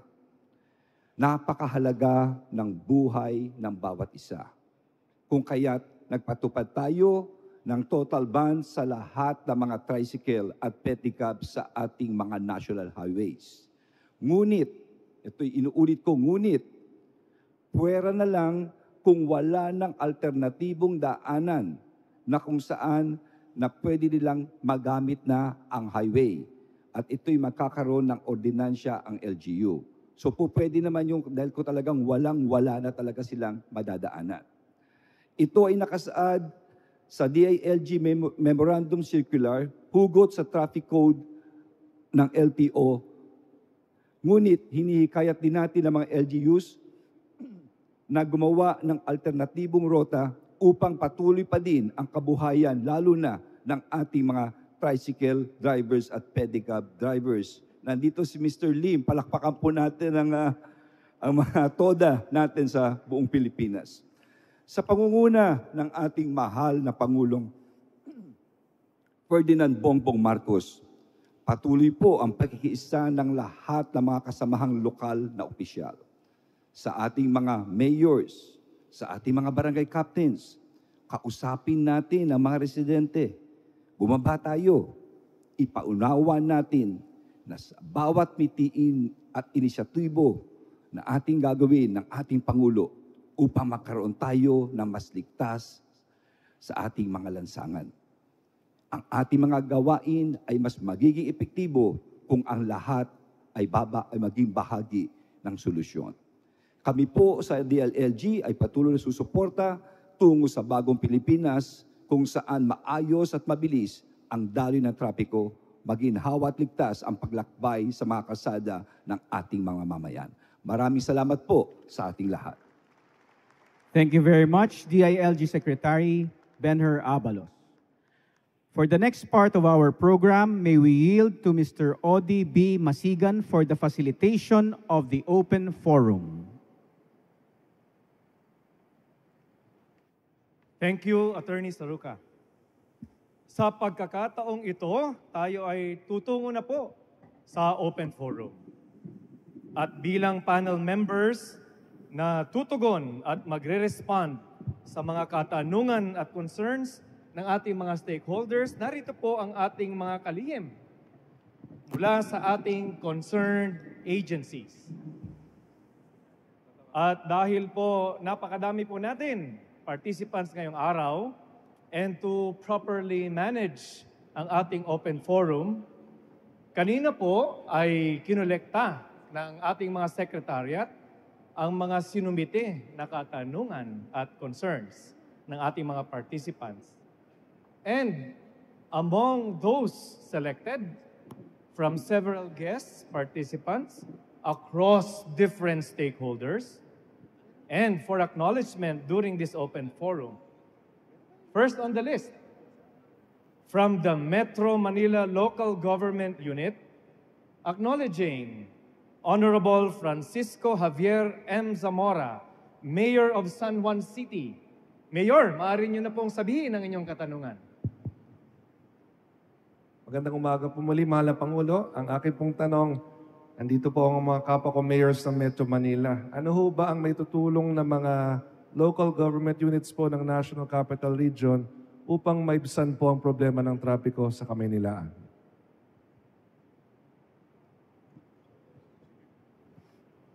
Uh, Mayor Francis, magandang umaga po. No? Uh, nasa Section 16 and 17 ng Local Government Code, ang mandato, no, ang General Welfare Code at ang responsibilidad ng bawat uh, mayor, ng bawat uh, local executive. Ang malaking tulong po natin dito, of course, ang pag-provide ng mga manpower, lalo sa mga Lord, lo- road cleaner, mga CCTVs, no, sa mga basura, mga recycling uh, things, at to make sure na may tayo, tayong sistema na ang mga basura hindi kakalat sa kalye kasi cause of traffic na rin ito. No? Of course, magkakaroon tayo ng tinatawag na Composite Validation Assistant Task Team dahil marami nagsasabi na ang kanilang barangay ay cleared na, etc. Pero we need to validate this. Yung mga illegal na parking, yung ating mga ordinansya na pinapayagan natin sa mabuhay lane, ang parking, pagbawal na po natin ito. Kasi these are mabuhay lanes. Ang pagtalaga ng CCTV, alam niyo ho, nung ako'y MMDA chairman, ang sakit ng ulo ko yung banda po rito sa Balintawak Market. Ever since, dahil tuwing umaga, yung kanilang nagbabaksak ng paninda, one lane sinasakop. Alam niyo kung paano ko nasolusyonan? Simple lang. Naglagay lang ako ng apat o limang CCTV camera. Pinatawag ko yung naka-head na traffic roon, ang sinabi ko roon, once may makita ko ritong nakaano, tuwing umaga at tuwing hapon, isususpindi kita. At magmula noon, luminis ang balintawak. Of course, sa tulong ni Mayor Joy, magkasama kami ni Mayor Joy nung araw dito. So, these are simple things na pwede natin magawa. No? Malaking bagay ang teknolohiya. At pabayaan mong ngayon pa lang, pasalamatan ko ang lahat ng mayors of Metro Manila dahil sa pakikiisa ninyo, nagkaroon tayo ng single ticketing. Napakagaling po ninyo. Maraming salamat. Thank you, Secretary Abalos. Next, from the business sector, we have uh, Mr. Robert Francis Maronilla, Head of Legal Service of the Employers Confederation of the Philippines and the Philippine Chamber of Commerce and Industry.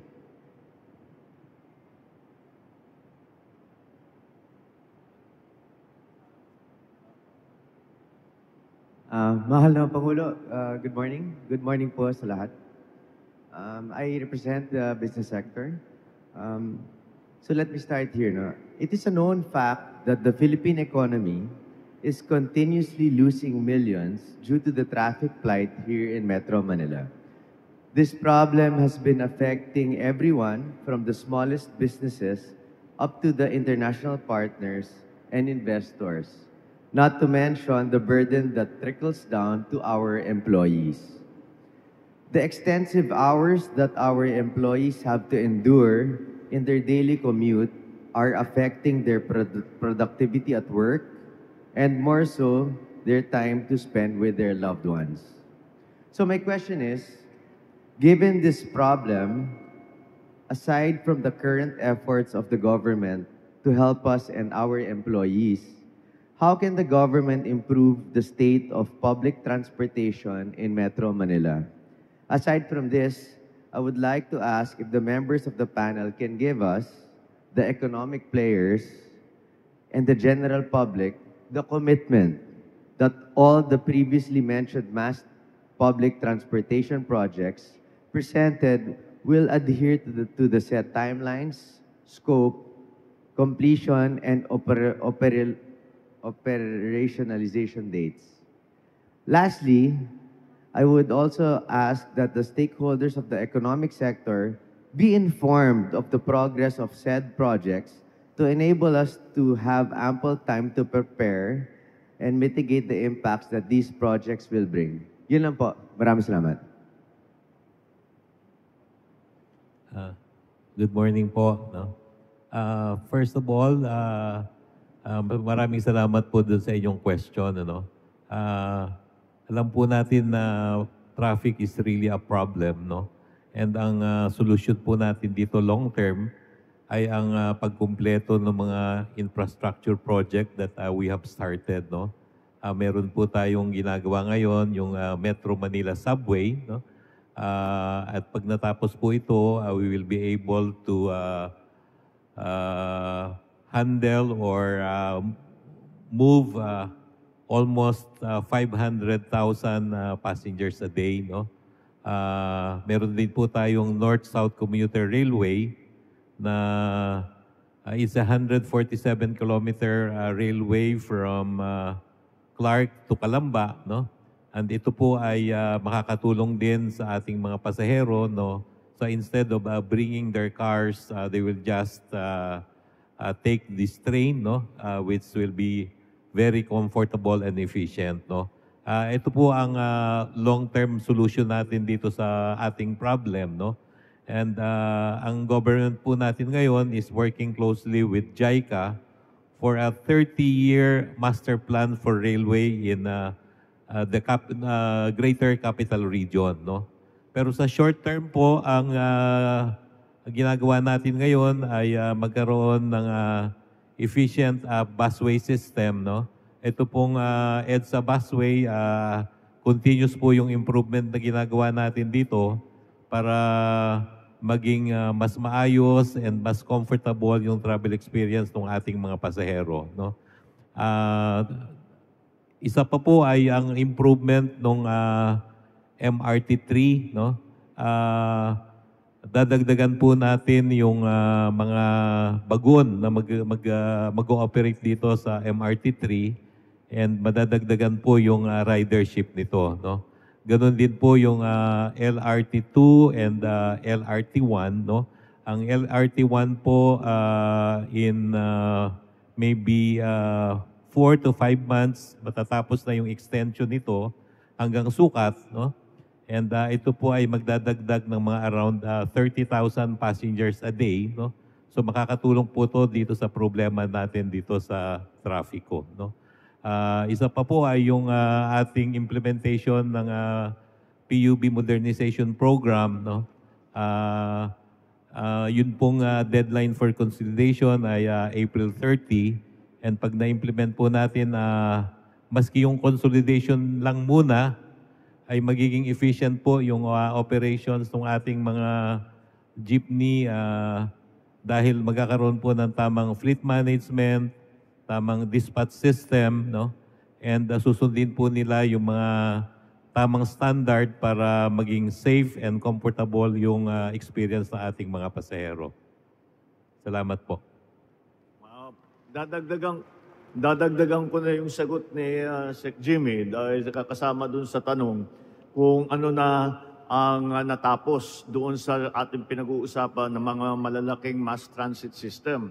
At uh, kung ito ay matatapos uh, sa lalong madaling panahon, magbigay kayo, magbibigay ako sa inyo ng counting report uh, dito sa mga uh, mga trans, mga ating ginagawa para sa mass transit.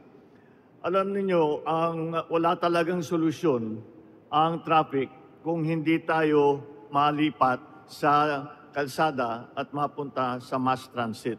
Kaya tayo naglalagay ng mga subway, naglalagay tayo ng mga tren. Ito po, para naman ay uh, mas madali talaga. Mas madali, wala ng traffic. Kaya pag sumakay ka ng tren, walang traffic.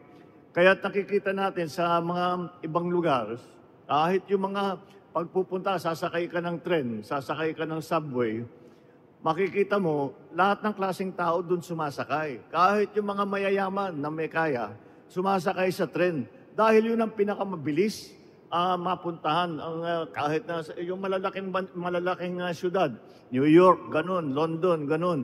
Kahit na kahit na sino, ang tren ang ginagamit. Kaya yan talaga ang tanging solusyon. Kaya yan ang aming pinupursige tungkol nga pa, para ma, ma, mapalagyan natin, pagandahin natin, mapalawak natin, mapabilis natin ang mass transport system, malipat ang ang uh, um, pagbiyahe, ang mga commuter, imbis na sumakay ng, ng, ng bus, ng tricycle, ng uh, jeepney, o yung sarili nilang sasakyan, ay sila'y sumakay na sa mass transit system. Magbigay ako ng konting report sa mga ongoing uh, construction railway project, yung North-South Commuter Railway Project, yung Tutuban hanggang Malolos, ay 61% na kumpleto. Ang North-South Commuter Railway Extension Project, Malolos to Clark, ito, 56.5% na tapos na. North-South Commuter Railway Extension Project, yung South Extension, Manila hanggang Calamba, ay 38% na na mataat natapos. Ang Metro Manila Subway Project, 41% na ang natapos. LRT Line 1 Cavite Extension, 80% na tapos. MRT Line 3 Rehabilitation and Maintenance, 85% nang tapos.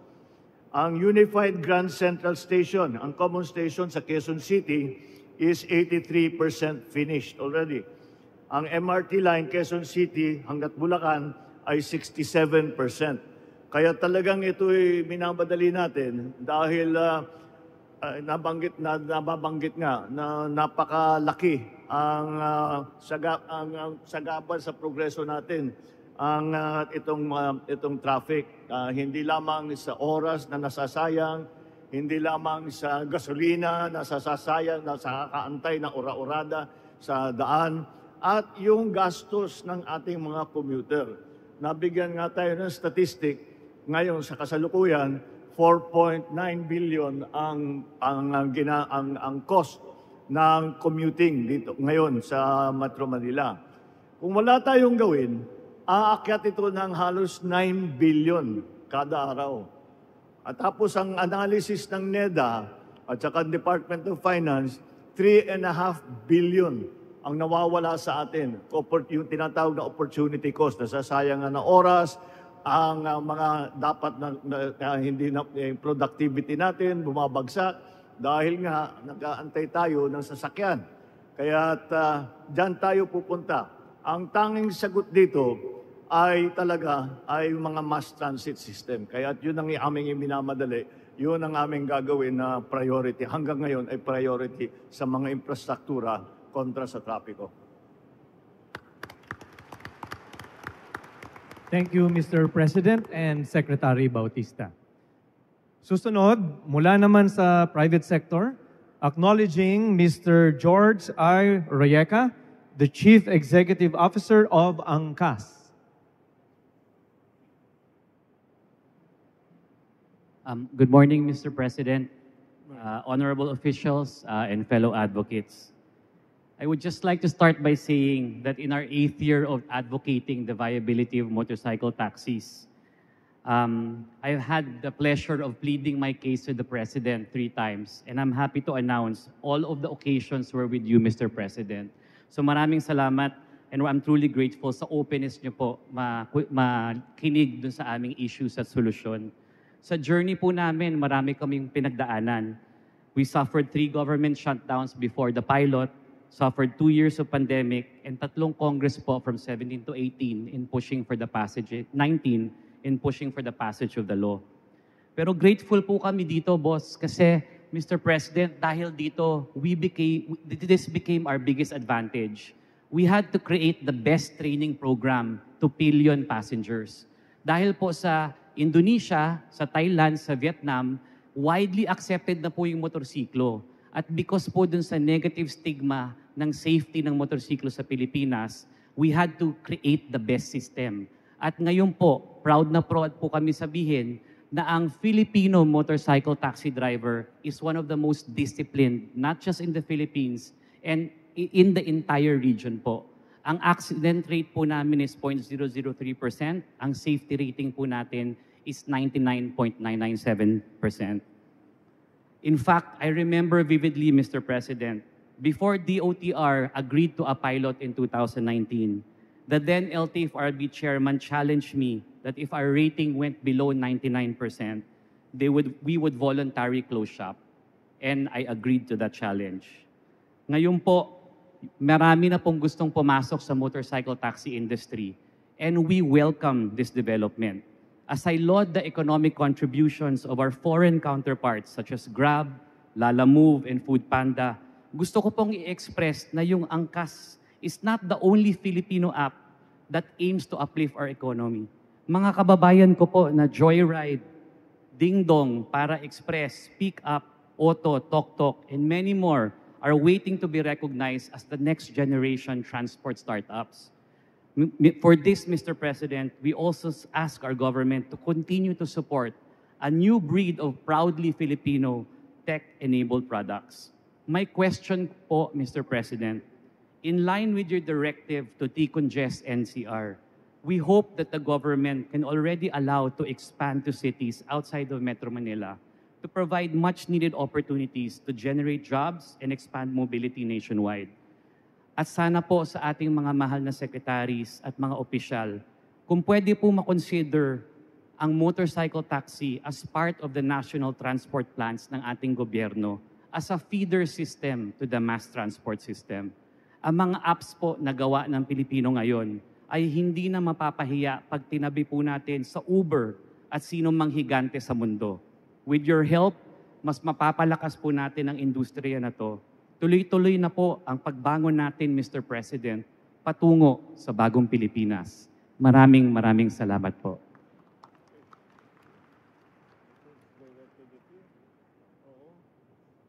Uh, thank you, George, uh, for that question. No? Uh, right now, uh, we have uh, an ongoing uh, pilot test. No? And of course, uh, si George is uh, part of this test. No? And uh, we are expanding this, no? We were uh, requested by the Committee of Transportation no? to expand this pilot test, no? And ang gagawin natin ay magdadagdag tayo ng ah, additional ah, 8,000 ah, motorcycles, no? Ah, ang balak dito ng LTFRB is ah, to have this ah, outside of ah, Metro Manila for the meantime, no?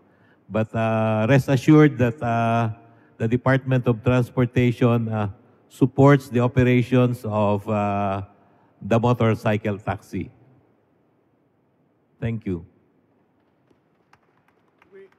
Ang ah, talagang kailangan na gawin natin na hindi pa natin nagagawa dahil ah, ay, sa Metro Manila, iba't ibang ah, lungsod yan, iba't ibang bayan yan. And ah, we have to coordinate kung- sa sa sa nung ah, nung ba- bago natin uh, sinimulan ito ay bawat ah, isang LGU may sariling sistema dahil wala namang nagbibigay ng buong sistema sa inyo. Kaya't gumagawa kayo ng sarili ninyo. Kaya't babaguhin natin yan. Mula ngayon ay ang tingin natin sa traffic, ang systems, uh, traffic systems, ah, pati sa kalsada, sa, pati sa mass transit, lahat yan, ay gagawin nating isang buong plano. At ang pananaw natin sa problema ng trapiko sa Metro Manila ay isang buong sistema. It is as we have to make it, we have to look at it as an entire system that that complements each other, one town, one city uh, to another. So that eh, hindi naman masyadong mahirap na para sa mga traveler, para sa mga commuter, para sa mga TODA, para sa lahat ng mga stakeholder, at ah, hindi, na, hindi pa bago-bago ang kanilang bawat eh, tatakbo lang ng 10 kilometro, iba na yung ah, rules doon, iba na yung oras ng truck, iba na yung lahat yan. Kaya kailangan natin i-coordinate.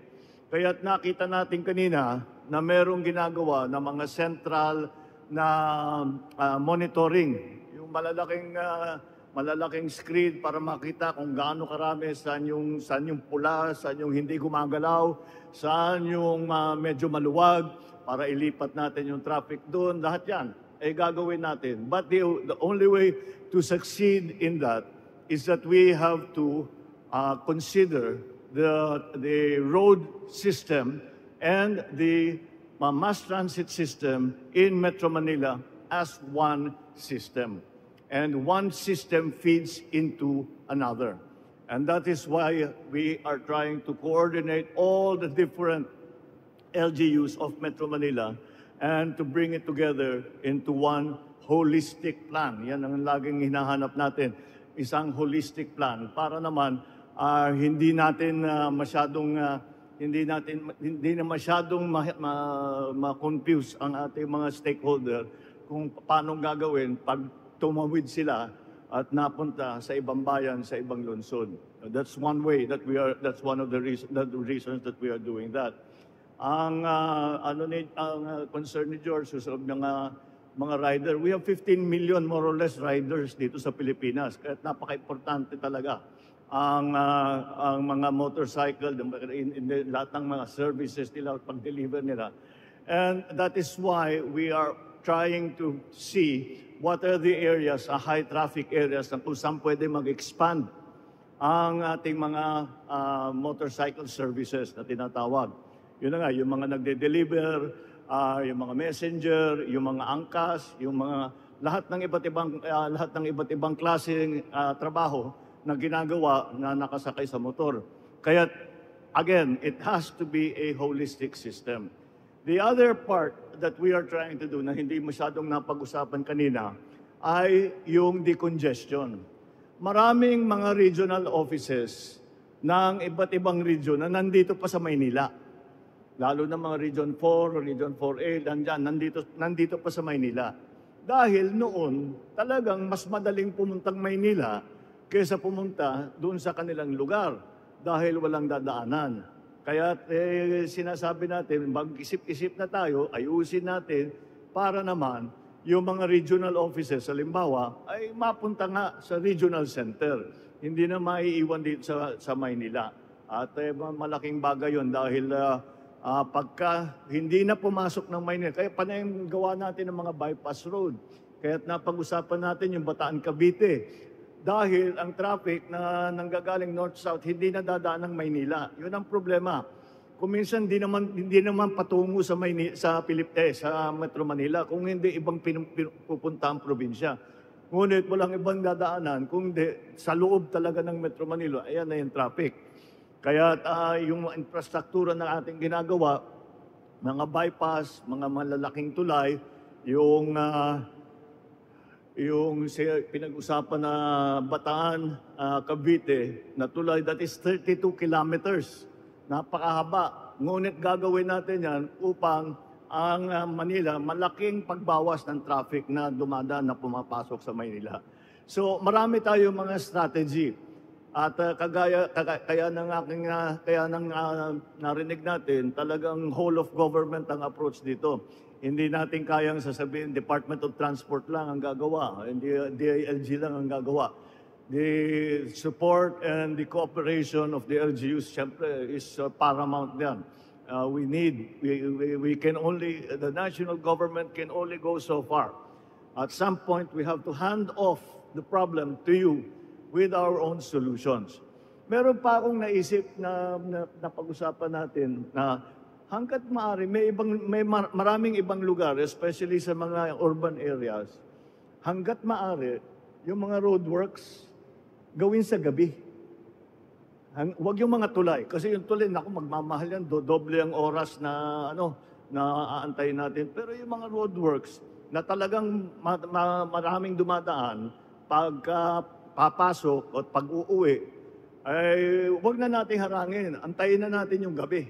Yung gabi, halos walang traffic, yun, gawin natin yung roadworks doon. Hanggat maaari. Wag lang ma-delay, wag lang maging mas mahal, palagay ko sa mga lalo na sa mga local feeder na roads pwedeng uh, pwedeng gawin yan. So we'll these are the strategies that we are examining para pagandahin ang ating mga uh, ating mga uh, para yung mga stakeholder natin, mga commuter natin na hindi naman masyadong nahihirapan, hindi masyadong namamahalan at uh, nauubos ang oras kakaantay ng sasakyan para makauwi. Eh, hanggang ngayon, hindi ko talaga ang lagi kong sa kanilang sinasabi, napaka, uh, napakalupit naman, ay umuwi ako ng alas 12 ng gabi, eh meron pang nag-aantay ng bus. Hindi pa makauwi yun. Uuwi yun. Pag makasakay ka na kagad ng alas 12 yun, uuwi yun. Alauna na. Gigising ulit yun ng alas 4.30 the next day. Wala, walang buhay talaga yung mga tao. Eh. Kawawa naman. So we have to really improve this. Uh, we have to really improve the situation we are trying very hard to solve the problem. Thank you, Mr. President and Secretary Bautista. Now from the Transport Group, atin naman pong pakinggan si Mr. Roberto Caobet Martin of the Pangkalahatang Sanggunian Manila and Suburbs Drivers Association, Pasang Mazda. Kagalang-galang na Pangulong Ferdinand R. Marcos Jr., mga government officials, magandang umaga po. Mahal na Pangulo, sa layunin po ninyo na maisaayos ang hanay ng transportasyon sa jeepneys, kami po sa hanay ng jeepneys ay sumuporta at nakiisa sa modernization program. At dahil po dito, mahal na Pangulo, inihiling din po namin sa pagkakataong ito na magkaroon ng tamang sistema doon sa mga bagong players po natin na nagdanais magbigay ng serbisyo publiko sa ating mga kababayan.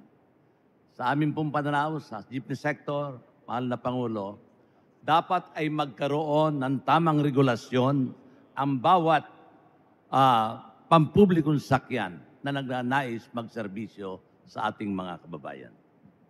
Sa amin pong hanay, mahal na Pangulo, ang ruta ng jeep dapat po sa jeep lamang ang ruta ng bus sa bus sapagkat naapektuhan din po ang aming hanap buhay sa araw-araw.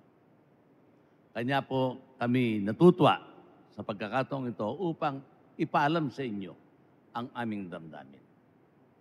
Mahal na Pangulo, sana po magkaroon ng maayos na ruta ang jeepney, maayos na prangkisa, hindi lamang po dito sa Kalakang, Maynila, kundi sa buong bansa sapagkat sa nakikita po namin, kung maayos at ang prangkisa, maayos at ang ruta, hindi ho tayo magkakaroon ng mabigat na problema ng trapiko, hindi lamang po dito sa Kalakang Maynila, kundi sa buong bansa. Isa pa po namin kahilingan, mahal na Pangulo. Ito pong consolidation process na nabanggit ng aming kalihim Jimmy Bautista na dapat po ay matuldukan na ito sa katapusan ng Abril o ng buwang kasalukuyang ito. Ayan po ang aming jeepney sector. Almost 86% na po, mahal na Pangulo, sa buong bansa ang nakapag-consolidate na. Kanya po, ipinarating po namin sa inyo kagalang-galang na Pangulo na tuldukan na po ito sa Abril ng buwang kasalukuyan. At dahil po dito, mahal na Pangulo, andyan po ang jeepney sector. Nagpapasalamat at aming nasabi sa inyo ang aming mga problema. Umaasa po kami, kagalang-galang na Pangulong Bongbong, na magkakaroon po ng katuparan ang aming mga pangarap na pinangarap nyo rin po. Sa huli po, ako'y magpapapuri po kagalang-galang na Pangulo. Si Secretary Benar Abalus, sa kanya pong walang puknat o pagtigil na pagtulong sa amin anytime of the day, natatawagan po namin siya. Ang aming kalihim ng transportasyon, even during Saturday and Sunday, mahal na Pangulo, bukas po ang komunikasyon. Iniintindi at inuunawa ang mga problema na inilalapit namin sa Kanya. Kay Chairman Jojo Guadis naman po ng LTFRB, pinipilit niya na maayos ang problema naming mga operator na pampublikong sakyan.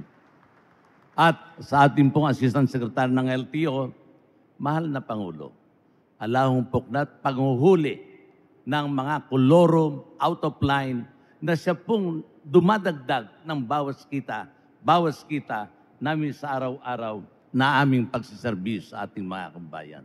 Almost 30% po nawawala po sa kita namin. Maraming salamat po, Attorney Bigor.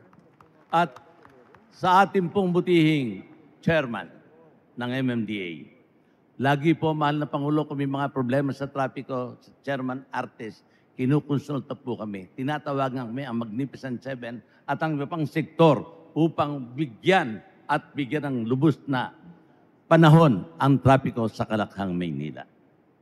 Mahal na Pangulo, men in uniform na andito po ngayon, nabanggit kanina, sa mga kotong pinapupurihan ko rin po ang ating Regional Director, General uh, Nartates, at ang kanyang mga kasama sa National Capital Region, doon po sa kanilang maayos ng pagbibigay serbisyo, pagtugon sa mga problema naming naaaping mga driver sa kalye. Maraming salamat po, kagalang-galang ng Pangulong Bongbong Marcos. Maraming salamat. Maraming salamat, uh, Kaubet. At saka maraming salamat sa inyong grupo na talagang uh, tumutulong po sa amin na naghahanap ng, uh, ng magandang uh, solusyon dito sa mga suliranin tungkol sa trapiko. At uh, kung hindi nga, uh, hindi kayo uh, uh, aming kasama, hindi natin hindi po natin magagawa lahat ng ating nais gawin upang pagandahin nga ang uh, sitwasyon ng traffic. Kaya uh, ay siguro yung isang pinaka uh, malaking problema ay ang uh, yung pagpasada ng mga kolorum.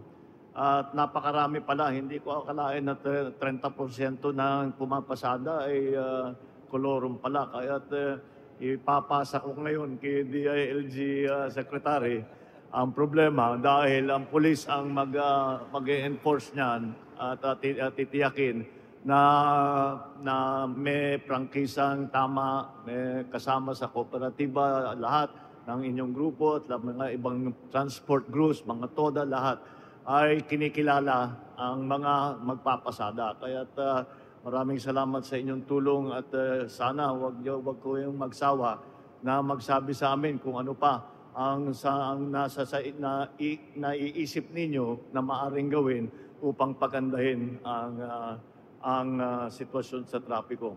At uh, sa kahuli-hulihan ay asahan ninyo wala na wala na pong extension yung uh, yung modernization. Uh, kailangan na kailangan na kailangan na natin 'yan. Kailangan na kailangan na natin 'yan. Uh, ayusin tit titiyakin lang natin, ang tinitiyak lang namin na hindi mapabigat pa ang ah, babayaran at uh, ipapaut- ah, mau- iutang ng ah, driver operator. Kaya uh, ginagawa nating maayos at ginagawa nating well-organized yung sistema na yan. Want to talk about the Paloro? Ah, kaopet, na naatasan tayo ng ating Pangulo, no? Sa totoo lang, ah, gumalaw rito yung aming ah, internal security sa Office of the Secretary kasama si ah, General Nartates. So ah, kami po tutulong ng lubusan kay ah, Secretary Bautista, no? Ah, General Nartates, ah, you have our commitment. Gagalawan po natin ito dahil 30% dito ay colorum, ha? Para mas maluwasa. Ito po yung utos ng ating ah, mahal na Pangulo. Thank you. Thank you, Mr. President and Secretary Abalos. Isa pa muli sa Transport Group, acknowledging Mr. Jose Marco H. Del Pilar of the nagkakaisang samahan ng nangangasiwa ng Panlalawigang Bus sa Pilipinas Incorporated.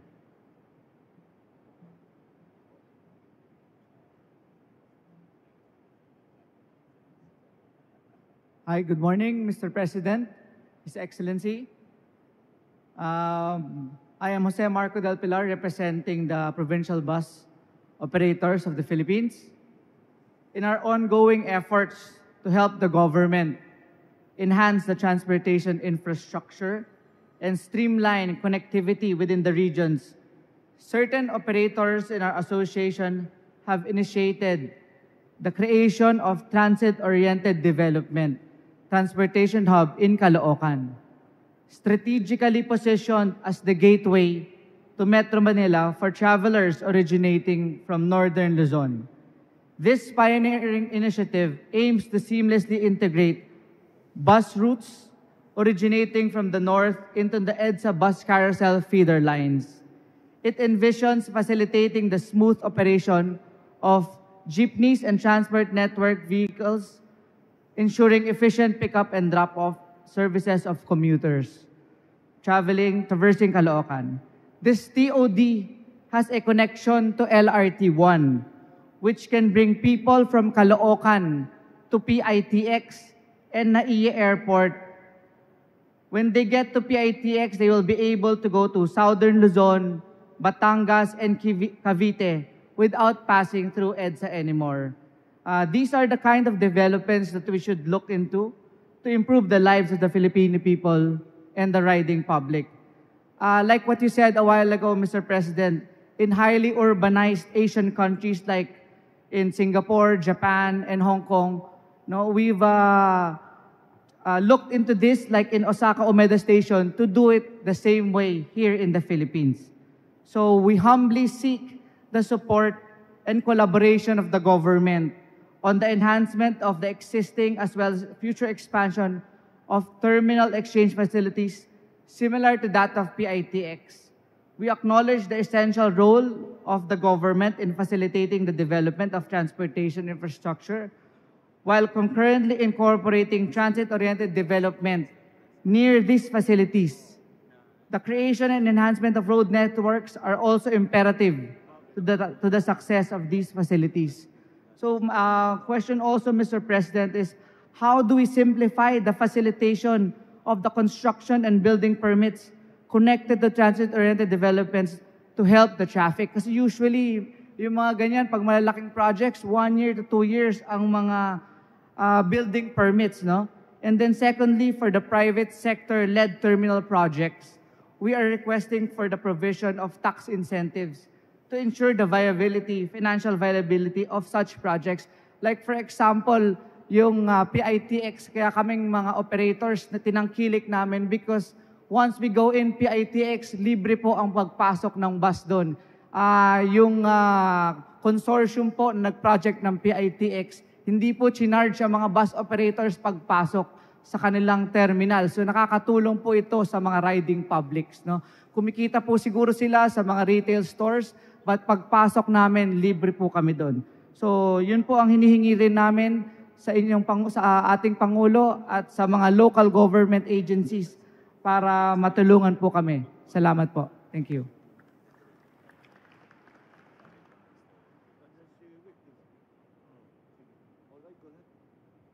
Ah, thank you, ah, Mr. Del Pilar. No? Ah, alam mo, napaka-importante po nung talaga nung ating in, in, ah, integrated ah, transport exchange. No? Ah, experience na po natin to sa PITX. No? And ang susunod na project po natin ay ang Tagig naman. No? Magkakaroon tayo ng ah, another project ah, which is bigger than PITX sa Tagig. No? Ah, ito po ah, ay ah, project ng gobyerno with ah, Ayala Group. No? Dito po sa North, ah, nagtitingin din tayo ng possible ah, location. No? Ah, ang posible pong location nito ay yung ah, dito sa Victory Liner. No? Meron pong 7 hectares property dito. No? Ah, we had the initial discussion with ah, the owners of Victory Liner. No? Ah, kailangan po magkaroon tayo ng ah, tinatawag na public-private partnership with ah, the owners, no? So ito po ang ah, tinitingnan natin ngayon, no? And kung sakaling matuloy po ito, ah, hihingi kami ng tulong sa LGU para mapabilis natin yung ah, ah, pag-i-issue ng mga permit, no? And, ah, and at the same time, ah, we will work closely with ah, NEDA for us to be able to get ah, the approval of this project, no? Kasi po ah, medyo malaki pong cost nitong project na to. So ah, it will require ah, NEDA approval. Thank you po. Tungkol naman dun sa karagdagang ah, terminal, ah, nakita ko nandito yung namumuno ng ah, GSIS, Mr. Wick Veloso. Uh, Wick, maybe you can ah, help us with this problem. ah. GSIS can invest in uh, uh, in these uh, terminals uh, that they are the terminals that they are proposing. So pag-uusapan natin, yan kulitin ninyo si Mr. Veloso.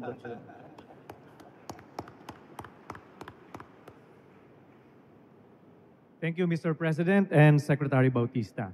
In the interest of time, we will entertain one last query from our participants.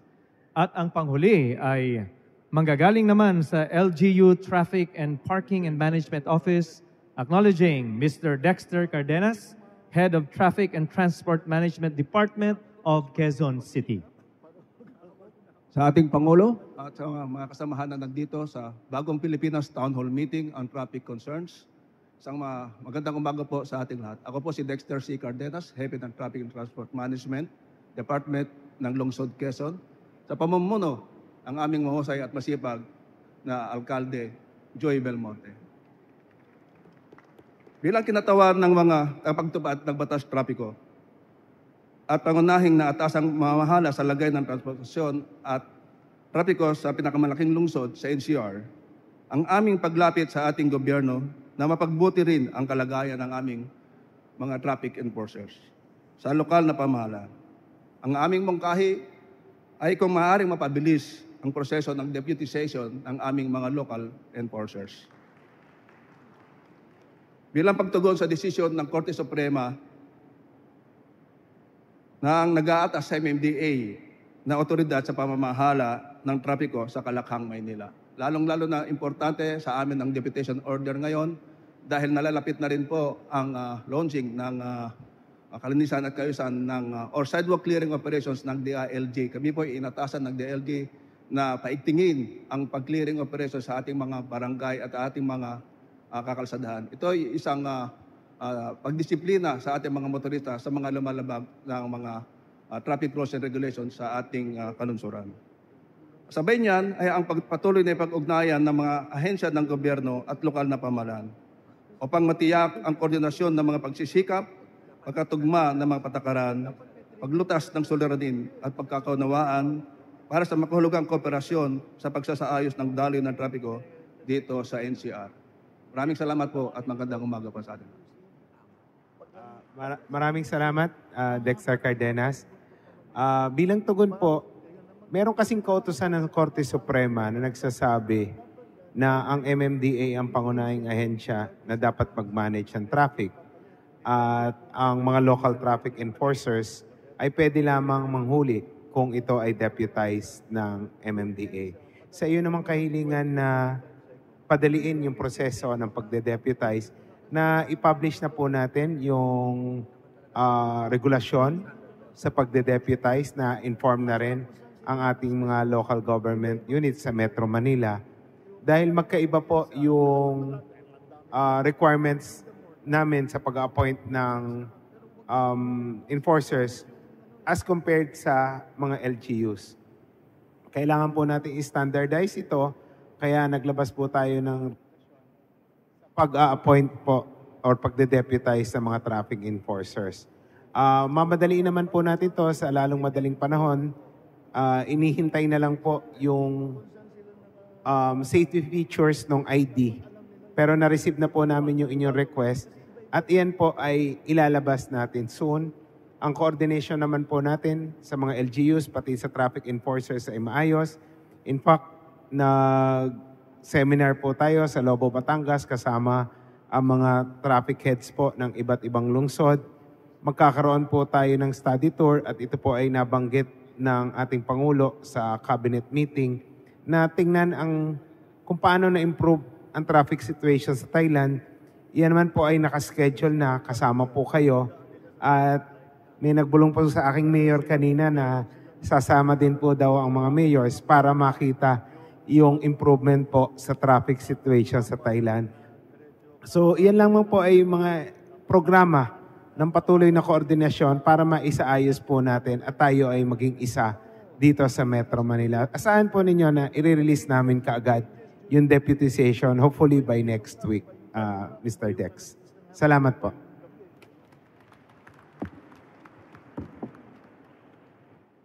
Thank you, Chairman Artes. With that, we are now closing our open forum. We had a very engaging discussion at para sa mga queries, concerns na hindi na maa-accommodate during this open forum, ito po ay i-address in writing ng mga concerned agencies. Maraming salamat sa ating mga guest participants na nag-raise ng kanilang mga concerns at sa ating panel members who promptly responded to the queries of the stakeholders. Now I'm turning over the facilitation of the program to our MC, Attorney Saruka. Thank you very much.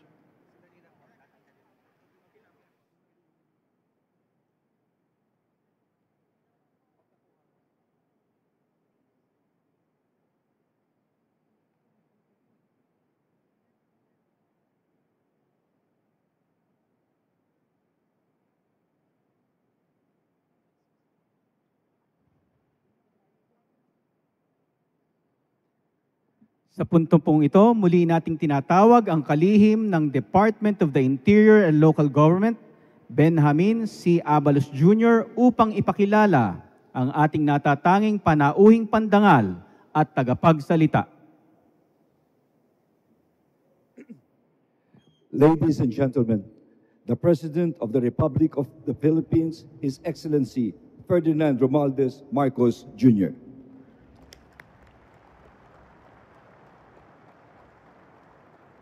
Maraming uh, salamat sa ating kalihim ng DILG, Secretary Benhur Abalos. Please, uh, uh, magsiupo po kayo. Uh, andito rin po ang ating uh, DPWH Secretary, Secretary uh, Manny Bunuan, ang uh, Transport Secretary, Secretary uh, Jimmy Bautista, ang uh, NEDA Secretary, nandito rin para planuhin ang long-term plan ng uh, ng ekonomiya na napakalaki ang impact ng trapiko uh, sa ating pagpaunlad at pagpalaki ng ating ekonomiya. Kaya siya ang gumagawa ng plano para sa next 5 years, next 10 years, next 20 years. Ito po ang ating NEDA Secretary, uh, Secretary Arce Balisacan. Ang uh, Metropolitan Manila Development Authority uh, Chairman uh, Romando Altes. Uh, nandito ang host uh, host city natin, ang uh, mayor ng San Juan, Mayor uh, Francisco Javier Zamora. Andito rin po lahat ng ating ibang uh, uh, mga alkalde sa iba't ibang bayan at lungsod ng uh, Metro Manila na ating uh, partner dito sa problemang itong uh, hinaharap natin tungkol sa trapiko. Eh, alam ko naman na uh, sila ninanais din nila uh, na maging mas maayos ang uh, ang sitwasyon ng trapiko. Kaya uh, nagpapasalamat ako na sila ay laging very supportive at very involved At uh, kung talagang meron silang naiisip, ay sinasabi naman talaga sa amin at kami, kami naman ay hinahanap namin ng uh, paraan upang uh, uh, ma, ma, ma, matugunan ang mga problemang dinadala ninyo sa amin at tinitingnan din namin dahil nagdadala naman sila ng solusyon. Ang solusyon tungkol uh, na paano pwedeng gawin doon sa kanilang bawat bawat lugar. So maraming salamat sa inyong uh, tulong. Uh, the uh, uh, other members of uh, of government that are here today. We even have here um, uh, the uh, Department of uh, uh, Department of Tourism, uh, Secretary uh, Christina is here because uh, traffic affects uh, even the tourism uh, department. Kaya napakalalim talaga ng problema nitong ating hinaharap dahil lahat halos ng ating ginagawa ay naapektuhan ng trapiko. Ang, halim, ang ekonomiya ng Pilipinas ay 60% ay nanggagaling uh, from and around Metro Manila. Kaya pag sinasabi 3.5 billion ang nawawala sa atin araw-araw, hindi maliit na numero yon dahil hindi lamang dito sa Metro Manila, kung hindi sa lahat ng mga karatig na probinsya, ay nararamdaman din nila yung problema na yan. But that is the problem of Metro Manila. You have a population of 14 million during the night. It increases to 17 million, 18 million during the day. Kaya talagang napakalaki. We have to take care, we have to attend to not only the locals, hindi lamang yung mga tiga rito, hindi lamang yung mga tiga Metro Manila, kundi yung mga commuter na nanggagaling sa iba't ibang lugar na pumapasok sa, may, sa, sa Metro Manila upang magtrabaho. So that is the, that is the problem that we are facing. And uh, kagaya ng aking, marami po tayong napag-usapan ng mga iba't ibang stra- strategiya upang pagandahin ang sitwasyon. At uh, kagaya ng aking nabanggit kanina, sa aking pananaw, sa aming pananaw, ay talaga naman na ang uh, solusyon dyan ay pagandahin natin ang ating public transport system. Dahil kung wala tayong gagawin, dadagdag ng dadagdag ang sasakyan sa Maynila. Habang magka, may, may, may, magkaroon magka, uh, may kaya na ang ating mga ang ating mga workers ay bibili ng sasakyan yan. At uh, dadami at dadami yan. At kahit gaano karaming kalsada ang ilalagay natin, kahit karaming flyover, kahit gaano karaming bypass road ang gawin natin, hindi makakahabol yan. Kaya talagang kailangan tignan natin ang, private, ang public transport para ito nga ay maging very efficient, mabilis, hindi eh, public transport, hindi pagka train, subway, hindi tinatamaan ng, uh, ng traffic, di makakauwi kayo ng, sa magandang oras, uh, darating kayo sa trabaho na ta- sa tamang oras. All of these, uh, all of these uh, issues come together when we talk about traffic. In fact, noong unang briefing na binigay sa akin tungkol dito, nagulat nga ako na pati yung basura kasama sa issue ng traffic. Dahil kung nga naman, kung tayo yung dumadaan, ay nakikita natin kung saan saan na lang tinatambak ang basura. Ngunit, Huwag natin sisisihin lamang yung mga nagtatanggap na, nagtatambak ng basura. Kung wala silang ibang paglalagyan ng basura, wala tayong ibinigay sa kanilang basurahan, wala talaga silang gagawin, kundi magtambak, o basta itatapon nila kung saan saan.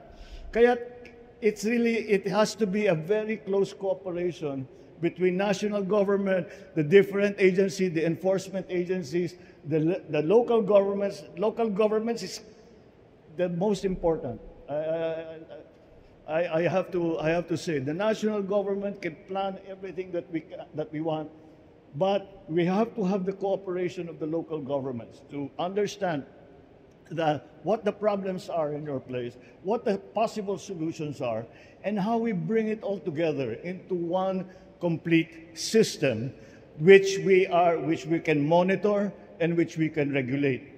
Dahil ang traffic, hindi ganun kasimple. Sasabihin, ay dito maraming traffic, maglagay tayo ng kalsada dyan. Pagka alas 6 hanggang alas 8, matraffic yan. Pero iba, pag, ala, pag alas 4 hanggang alas 7, matraffic yan. Pero sa ibang oras ng, ng, uh, ng araw, eh, hindi naman matraffic. Kaya nagbabago rin. Kaya kailangan na monitor ng mabuti. At nadadirect, may, may direct natin yung traffic. Kaya kasama din natin ng mga traffic enforcers na kailangan talagang bigyan natin ng magandang training para maintin na unawaan nila ng mabuti kung ano yung pangangailangan dun sa kanilang, kung saan sila nilagay. Ah, dahil uh, paiba-iba nga sa bawat araw. Pag Sabado, iba na naman. Pag Linggo, iba na naman. Pag holiday, kagaya ngayon, iba na naman. Kaya kailangan natin maunawaan ito. At kapag may ginagawa sa isang lugar, alam dapat sa ibang lugar. Ah, para sasabihin, oh, dadami yung manggagaling ng ah, Caloocan. Sabihin natin, oh, sige, maganda tayo. O manggagaling, marami, marami pumapasok galing Cavite. Ayan, o, gawa natin ang paraan. So all of this has to come together. And uh, it is, uh, it, it affects the lives of all our people. Kasama na rin dyan yung ating, uh, ating uh, health and safety. Dahil kapag talagang naiipit ang mga sasakyan ng ora-orada sa kalsada, dumadagdag naman ng pollution dito sa dito sa Maynila. Kaya te, kailangan talaga nating isipin na napaka may, may pagkakomplikado itong sitwasyon na ito. Ngayon, kagaya ng sabi, ng sabi ko, we have to do long-term projects. Dahil eh, kung pa, pa, pa, pa- ano na lang, pa, pag sasabihin natin, eh, dito lang may gagawin tayo dito terminal, may lalagay tayo ditong kalsada. Pero hindi maaaring ganun. Uh, we, we cannot do, we cannot solve this, this problem on a piecemeal basis. Um, na we have to solve it as, again as a system. Anong kung paulit-ulit kong sinasabi, ngunit talagang kailangan, pati nga basurahan kasama dito sa sistemang pinag-uusapan natin. Ang training ng ating mga traffic enforcers, kailangan pag-usapan natin. Ang right of way, na laging problema ng public work, kailangan ng tulong ng LGU. Kaya talaga, we all have to work together uh, to, to, to, to, uh, uh, to be more conscious of the problem of traffic. Uh, hindi pwede yung solution itagpi-tagpi lang. Kailangan talaga, it has to be one so, uh, solution. The other thing, eh, isa pang bagay na napaka-importante tungkol sa trapiko, ang isa pang bagay na napaka-importante sa trapiko ay kailangan nating isipin hindi yung ngayon ang sitwasyon ng 2024. Kailangan nating isipin anong mangyayari in 5 years, anong mangyayari in 10 years. Dahil kadalasan, Ah, itong experience ko sa bilang bilang gobernador, bilang senador, bilang congressman, eh nakikita natin ang infrastruktura ganito talaga. Kahit gaano karami ang ilalagay mong infrastruktura, maglagay ka ng power, maglagay ka ng kalsada, maglagay ka ng ah, farm to market, lahat yan. Sasabihin mo, good na yan, okay na yan for the next 10 years. Hindi totoo yan. Tatlong taon pa lang yan, puno na yan. I'm sure, I'm sure the LGU, may- the mayors will agree with me. Kahit anong ilagay mo, mapupuno yan. Kaya natin kailangan planuhin na mabuti ang ating ginagawa. The other lesson that I have learned in the time that we are doing infrastructure projects is that ang infrastructure project ay hindi para sa ngayong araw lang na ito. You are going to live with those infrastructure projects for 80 years on average. We, kaya we have to be thinking very forward thinking in our in, in our planning, our city planning. How do we decongest? Uh, what will be the increase? Where do we plan to put the new manufacturing uh, the manufacturing uh, centers? Where are we going? How do we service our eco, our, our eco zones? All of this have to be taken into account. And Manila, Metro Manila is still at the center of all our economic activity. Now, when it comes to traffic, we are hoping to do as much as we can ngayon dito sa Metro Manila. And hopefully, that many of the lessons that we will learn here, uh, here in Metro Manila, will be able to we can we will be able to apply in places like Cebu City, where also the problem of traffic is uh, uh, pretty bad. Davao also has a big uh, problem on, on, on traffic, and other urban urban centers around the Philippines have the problem for tra- of traffic. So we have to begin. We, we must now understand how to solve the problem of traffic. And it is so multifaceted. It is so complicated. There are so many stakeholders. But nonetheless, it is a job that we have to do. We have to coordinate, we have to listen to all the stakeholders, the LGUs, the operators and drivers, the tra- uh, traffic enforcers, the infrastructure, the economic development, the transport systems. All of these have to come together. Otherwise, hindi talaga mangyayari. Mahihirapan pa rin tayo. Kaya kailangan eh, magka, magtulungan tayong lahat.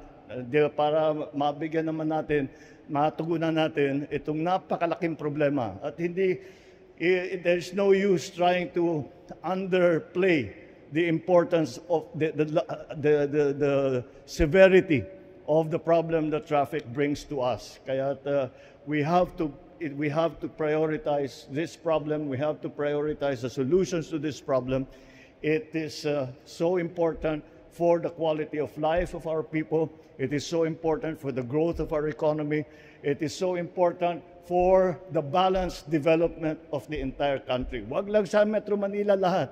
I-decongest din natin. Para dalhin naman natin sa ibang lugar ang mga ang development.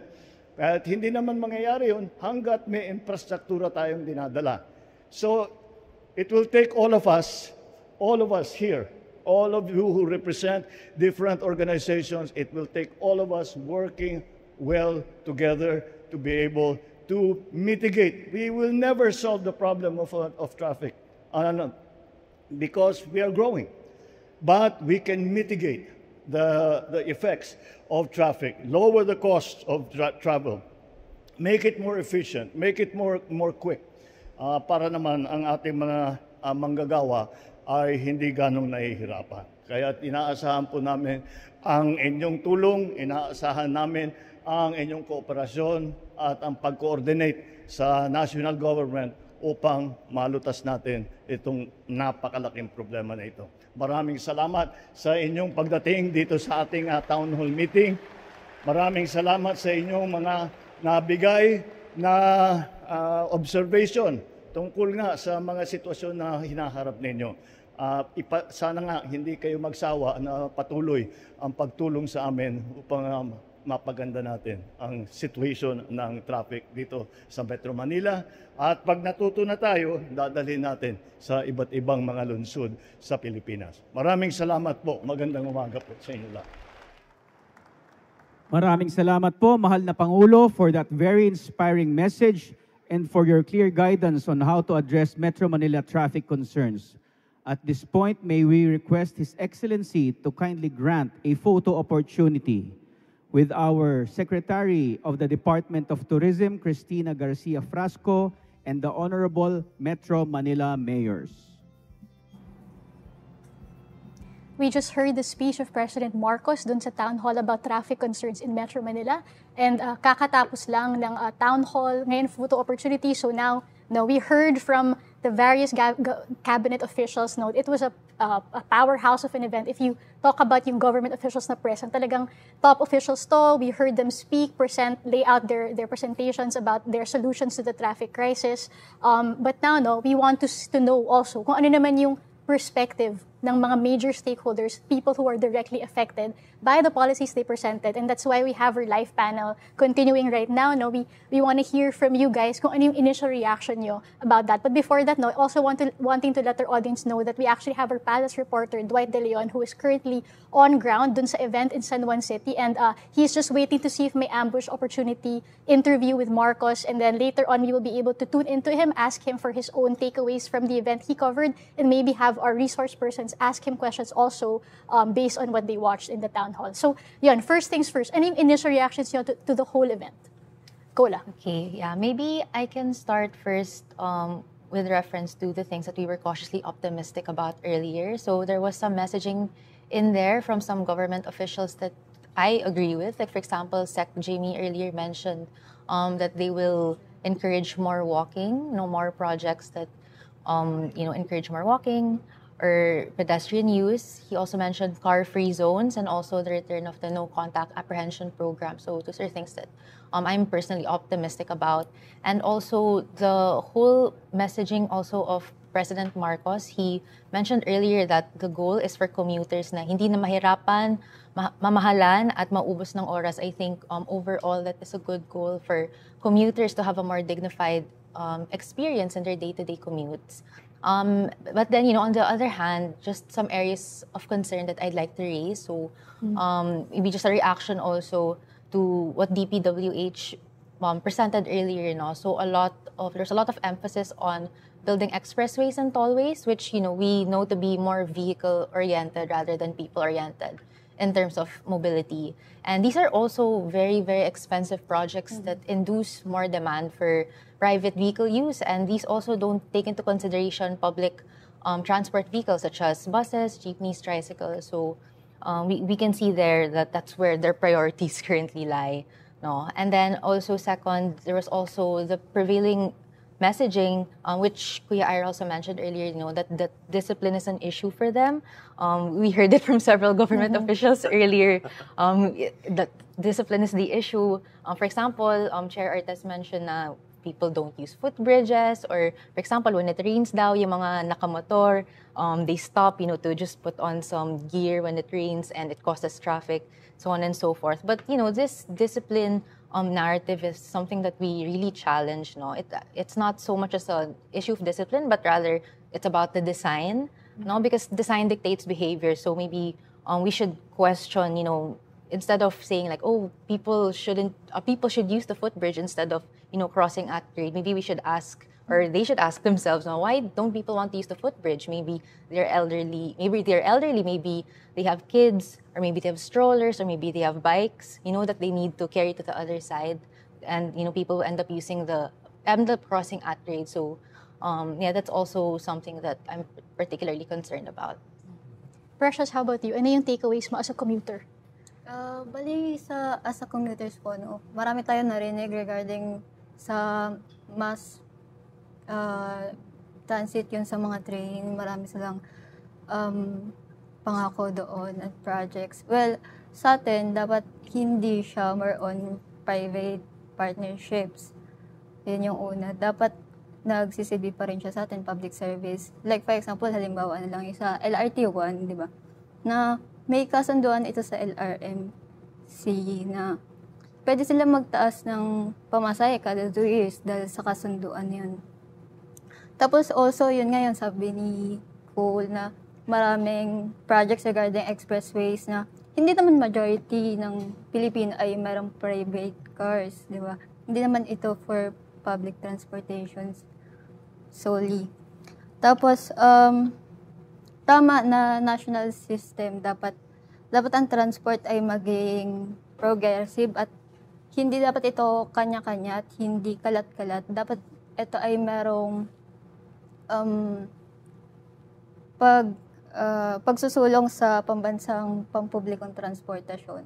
Dapat siya is national public transport. Tapos, um, laging sinasabi na hindi, hindi daw kaya ng gobyerno na sila lamang. Tama.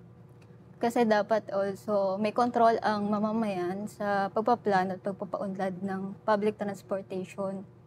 Kasi syempre tayo ang nakakaranas ng hirap. So dapat may may say tayo at may control tayo sa pagpaplano ng public transportation. Tapos, um, sinasabi din na wala, wala na daw extension yung deadline doon. Parang nag, pumunting yung, yung pandinig kanina. Kasi, um, dapat merong maayos muna na pagpaplano doon sa deadline ng, eh, sa consolidation program. Kasi, di ba, ngayon pa lang, nagpapasa na ng um, 5 pesos petition fare increase yung Pasang Mazda, Alto, Alto Chop. Ah, ano, ah, tama ba? Yan, yung mga Pasang Mazda, yung mga modernized groups ng 5 pesos fare increase. Kasi hindi naman nila kaya yung mataas na bilihin nung, nung modernized. Tapos yung mga um, laki pa ng mga binabayaran nila sa sa parking, sa, yung dun mismo sa modern jeep. Ayun. So, yun. Pati also, magkakameron ng malaking fare din sa sa atin, magiging 40 to 50 pesos. Inaasahan natin na magiging 40 to 50 pesos pag natuloy-tuloy yung modernized program, yung yung um, jeep. Kaya Sir Robbie. What did you Ah. think? Sige, maybe I can uh, talk about uh, what I liked Mhm. from the uh, from the session and the speech of the president, and also maybe what I would have wanted to hear. So, what did I like? I I liked that the president included in his message yung very important point na you know to really solve the transportation uh, situation, we really need to improve the quality, the quality and adequacy of public transport. So magandang message yun. And uh, really to see a shift uh, from people using private motor vehicles into uh, sustainable transport modes, whether walking, cycling, public transport, yun, that's what we need. We have limited road space. We have uh, lots of economic activity in the metropolitan area. We need more efficient uh, travel modes to move uh, most people. So I think that already should signal to everyone there that that should be the emphasis, yung moving people, not cars. So I guess what would I what would I have wanted to hear? Uh, I would have wanted to hear uh, more discussion about what our roads should carry. Kasi sa ngayon, yung emphasis of more uh, road building, more bridge building, it seems to be about yung flow of motor vehicles. Nandun pa rin yung uh, facilitation of motor vehicle flow. Pero what we know in transportation science is the more roads you build, you attract more motor vehicle use. So parang, yeah, dumadami pa rin or lumalaki pa rin yung problema. So it is like we are going to be doing more of the same. Kailangan magpalit na tayo ng strategy. And what do I mean by this? We need to think of yung roads and bridges natin being more for moving people and goods efficiently. So this is about better sidewalks, better bike lanes, dedicated lanes for public transport so that yung mga jeeps natin, yung mga bus natin will move more efficiently if our existing roads and our new roads are actually uh, designed to serve that purpose, it would actually be so transformative. So I'm hoping we can move from what we have heard today into this additional level, right? This is what we need. Yun. Ira?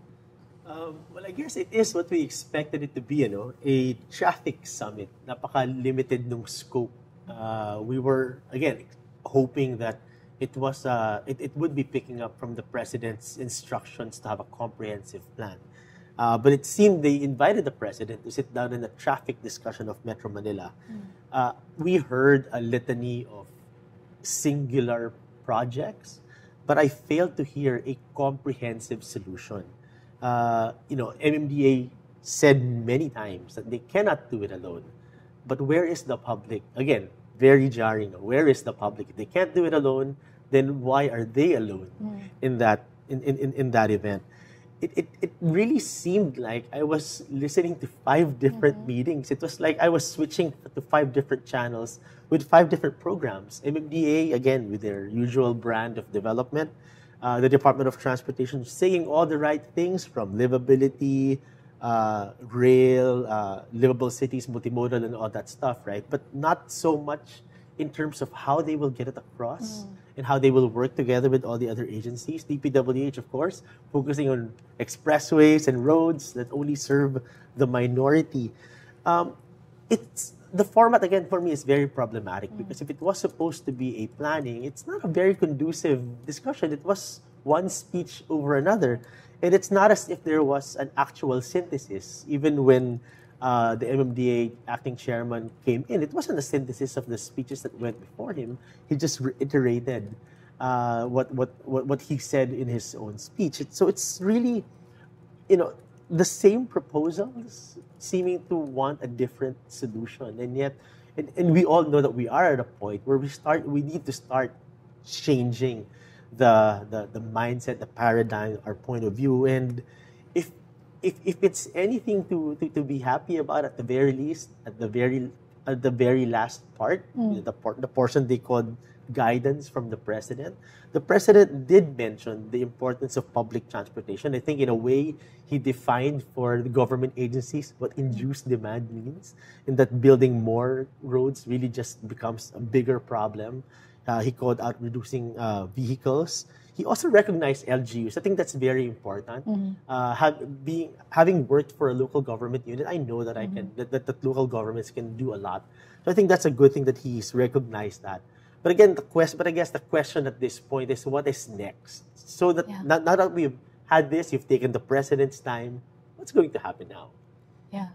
Kasi parang it seemed to me, yan, I just just watching it, parang sinasabi niya dapat hindi tagpi-tagpi yung yung planning, but the way the for the event was formatted, it just brought up nag nag-surface mas lalo yung fact na these agencies are just deciding by themselves and we didn't really see an integration. I think that's what we're looking for na Yes. when you see a comprehensive plan, parang how does this expressway uh, pa- parang contribute to mass transit? How are we changing behaviors of people who are buying cars so that they don't buy cars but instead take the train or bike, diba? Parang those behavioral modifications, parang what is the plan of the government? Because at the end of the day, like what Cola said, talagang behavior siya na we will do what is most convenient for us. So it's up to the government to design what is most convenient Right. for And I think people. it was the president that kind of drew that customer journey, if you may. Right. He was How- the first one to do Right. so. Now, how does the, how does how does that then translate? Because now the message of a lot of the other government agencies circles around discipline, Mm. one or restriction and apprehension and not solution. Uh, they are dreading the arrival of people in cities, which is so counterintuitive. You know, you need people to be in cities. Yeah. Cities have opportunities because them, of the people that make it happen, and people go to cities because of the opportunities. And yet, what they want to do is depopularize, depopulation, or they remove people from cities. It's removing the, the, the whole reason why they are in Mhm. cities. Um, so again, it's like listening to, to, to five different programs. If you were there, kung nandun kayo sa town hall, what would you have wanted to ask? Sa kasi, like for example, gusto nilang paalisan sa city, tapos pinopromote nila sa city. Like, kasi, di ba yung wage natin is hindi pantay-pantay yung sa NCR.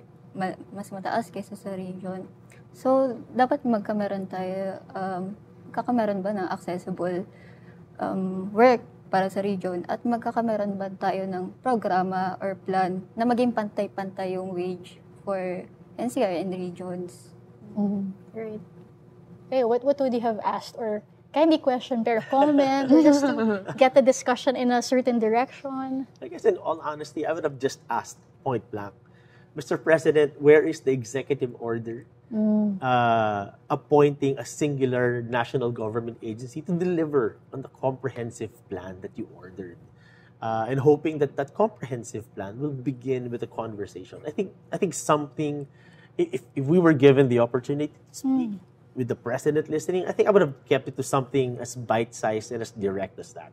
We want to be able to receive a- an executive order uh, that, that, that that clearly identifies who will be in charge of all of this, and and then you know how can civil society organizations like us participate? Because from his vlog uh, up until the end, they keep on talking about sending your comments, sending your feedback. But where is the comment box? Right? Where do we send? Do we tweet the president? Do we message secretaries of the national Make it government? So it's it's not clear. Kayo, what would you have?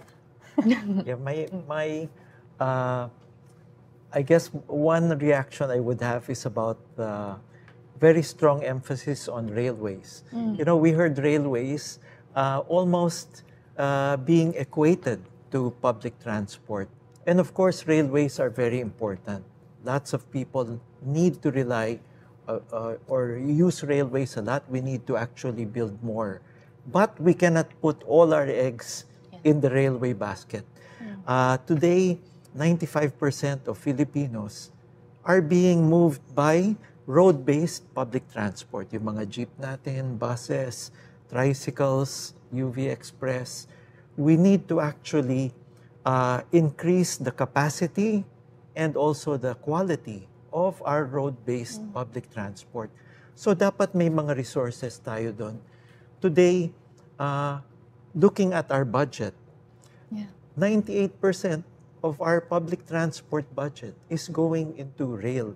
And there is a problem there in and of itself. Kasi, like the President said, rail takes a long time, and rail is only limited in terms of, you know, its influence area. You need to actually have intermodal. You need to have a combination of, uh, you know, walking, cycling, all the road-based public transport, plus rail and ferry to support, you know, a city or a community. So where is the budget for all these other uh, travel modes? It's all going to rail. And that's, for me, is uh, unhealthy. We need to have better balance. Cola? Yeah, I think also to add na lang din to what Sir Robbie said, like verbatim, I, I took note of this. Um, PB, uh, President Marcos said, um, kahit sino tren ang ginagamit, um, imbis na gumamit ng bus, jeep, trike, etc. Um, and you know, tying it back to you know the intermodal transport um, behavior that I do, um, like I mentioned earlier, it's really critical for train stations to be connected um, to walking and cycling paths Mhm. because you know uh, how else are we gonna fill in the first mile and the last mile trip? Like yeah, um, like what Sir Robbie said, it's um, rail is good. I mean you know, but it wouldn't be able to succeed if we don't allow people to have first mile and last mile connectivity to the rail. So it's really important for us to have um, a better balanced budget for other modes of transport. And it almost seems as if they're giving themselves a free pass uh, on two things. Number one, uh, they're giving themselves a free pass of doing things today. Because what they're saying is that just be patient. The rails will come and it will solve your problems. And for some reason, when you step out of your house, you will magically appear in front of one. So I think they're giving themselves a free pass because there are a lot of things that they can do today, such as, you know, um, and which brings me to my second point. They're giving themselves a free pass in route rationalization because what they're saying now, the president put his foot down and said April 30 will be the final deadline for POV modernization. But where is their final deadline for fixing the routes? Uh, the government owes us LPTRPs and route rationalizations. Meanwhile, while they haven't completed that yet, they're forcing all of the operators to, to consolidate already. The problem that I'm seeing is that if you don't fix the route rationalization now, you will just end up with a reconsolidation later on. Uh, so I think they're giving themselves a free pass on those two things, and um, and then there are a lot of things that they can already do today, from you know PUVMP, um, you know BRT for instance, a real life BRT, is is actually a cheaper, uh, more dynamic uh, solution than rail, and it's something that you can actually deploy much sooner. I mean, we saw how while I'm not just about to call EDSA Busway a BRT, we saw how quickly the DOTR during the past administration was able to roll it out. And that should be a model that we should be able to do. Uh, mind you that um, the, the, the Manila BRT is part of our commitment for, for reduction of greenhouse gas, gases. And, that we've, and we've canceled that plan. I want to bring up at this point, no, yung isang comment from someone dun sa chat natin. And he, she really brought up a point that um, something you actually mentioned earlier, but I just want to highlight, no, na dapat pala from Wasted Wonder, she, she commented na dapat legislative priority talaga yung um, pedestrians and bikers, like cyclists, because that's something in the PDP and the 20, the 2023 to 2028 Philippine Development Plan actually calls for um, a law, diba, that institutionalizes the use of bicycles and other active and sustainable modes of transportation. Um, and dapat nga highest priority sila in the hierarchy of road users. But we didn't really hear that much about sidewalks for one thing. Like, given that a lot of people use it to connect to different modes of transportation. But, di ba, when you're, when you're walking along the EDSA sidewalk, parang feel mo napaka second class citizen ka kasi you have to go over like potholes Mhm. and Right. contend with these, um, you know, jail-like looking barriers. I mean, I, as someone who's experienced that, and I'm sure even more vulnerable road user uh, pedestrians have experienced that. Like, what would you, what would you say to how this should be planned, like sidewalks in particular? Lalo na the mayors were present, and we know that cities and towns, sila naman yung may hawak ng, ng sidewalks. It's actually under their jurisdiction, especially within their cities. What should be the plan for that? Well, I think we have enough laws. Uh, again, the the building code of the Philippines is from the 1970s, and it specifies the basic requirement for for sidewalks, the Office of the Building Officials, as you've mentioned, is the one in charge to make sure that not only is it existing, but in cases where it needs to be occupied, say during constructions or, or road repairs, that, it, that there needs to be a temporary uh, sidewalk. Um, so it's so I guess it just it's just really how, how do you start uh, with with something so so how do you start explaining something so so so basic you know um, first of all I guess the government needs to start recognizing that walking Mm. and biking is a form of transportation uh, because it's it, it's continued to be seen as as a, as a recreational activity or or as a form of exercise. So I guess that's number one. ano. They need to start seeing it as a form of uh, of of, of, uh, of transportation. And and as we speak, the Philippine Bicycle Act, which clarifies where bike lanes are supposed to be, uh, the order of uh, the order of priority on roads is still pending in Congress. Uh, we had a we, we had a series. This is about a week or two where we were in Congress practically every other day, if you remember, listening and you know just trying to fix up and firm up all of the details. And yet it's still pending uh, action from Congress, and we've made a follow up, uh, and it still hasn't been scheduled. So these are the things that they can actually do now. Speaking of bike lanes, there's a comment sa chat from D-Day, and she, he was, um, I'm not sure what your gender is, but D-Day was saying that um, dapat may nag-point out din that last year, nine Metro Manila mayors went on a study tour in the Netherlands uh, to study the robust bike culture there. And na, na, narinig rin natin si Chairman Artis mentioned na magta Thailand sila to study also how they're doing transportation. So, well, what are your insights? Like, they, they're trying to study these systems, but we're not seeming to see any implementation or echo of that in Metro Manila. Mhm. Yeah, I think I would personally like to see them, you know, try biking in Metro Manila, not just, you know, when they go abroad, mm. not just for photo ops. I want to see our government officials try it out for themselves so that they can really, you know, empathize and put themselves in our shoes when we bike so they can see how how difficult it is when there's a pothole or how difficult it is when a bike lane is obstructed or when there are cars that are trying to sideswipe you. Mm. I think it's really important that they have that lived experience so that when they create these policies and plans for active transport, then they can think they can go back to these experiences and think about okay maybe we shouldn't do this or maybe we should do this instead because they already have that experience with them. Sorry, go ahead. Go ahead. No, I, I just also wanted to add, you know, we, we talked about sidewalks earlier. Mhm. You know, we, we should be starting with small things, you know. People talked a lot about big projects. But every mayor, every national official, they could actually accomplish a lot by focusing, you know, on something like the sidewalks. And they actually talked about, they mentioned sidewalk clearing several Mm. times. But you see, what was missing there is uh, restoring the sidewalk to the level that it becomes fully accessible to any person, including persons with disability. There is an obligation of every public official to guarantee that, to make, to ensure that every sidewalk is accessible for persons with disability. But that's, we know that's a rule that's not followed in most of the Philippines. The president and every official there could do so much and demonstrate results before the end of their term, right? Mm-hmm. Every local official, they could actually focus on sidewalks and deliver results because it's not, you know, something that's so complex. It's Low-hanging doable fruit, actually. within their own community. And if the president gave an instruction like that, he could deliver so much within his administration. Mm. Many of the things he talked about won't even be completed within his administration. But things like, you know, walking, cycling, that's really doable.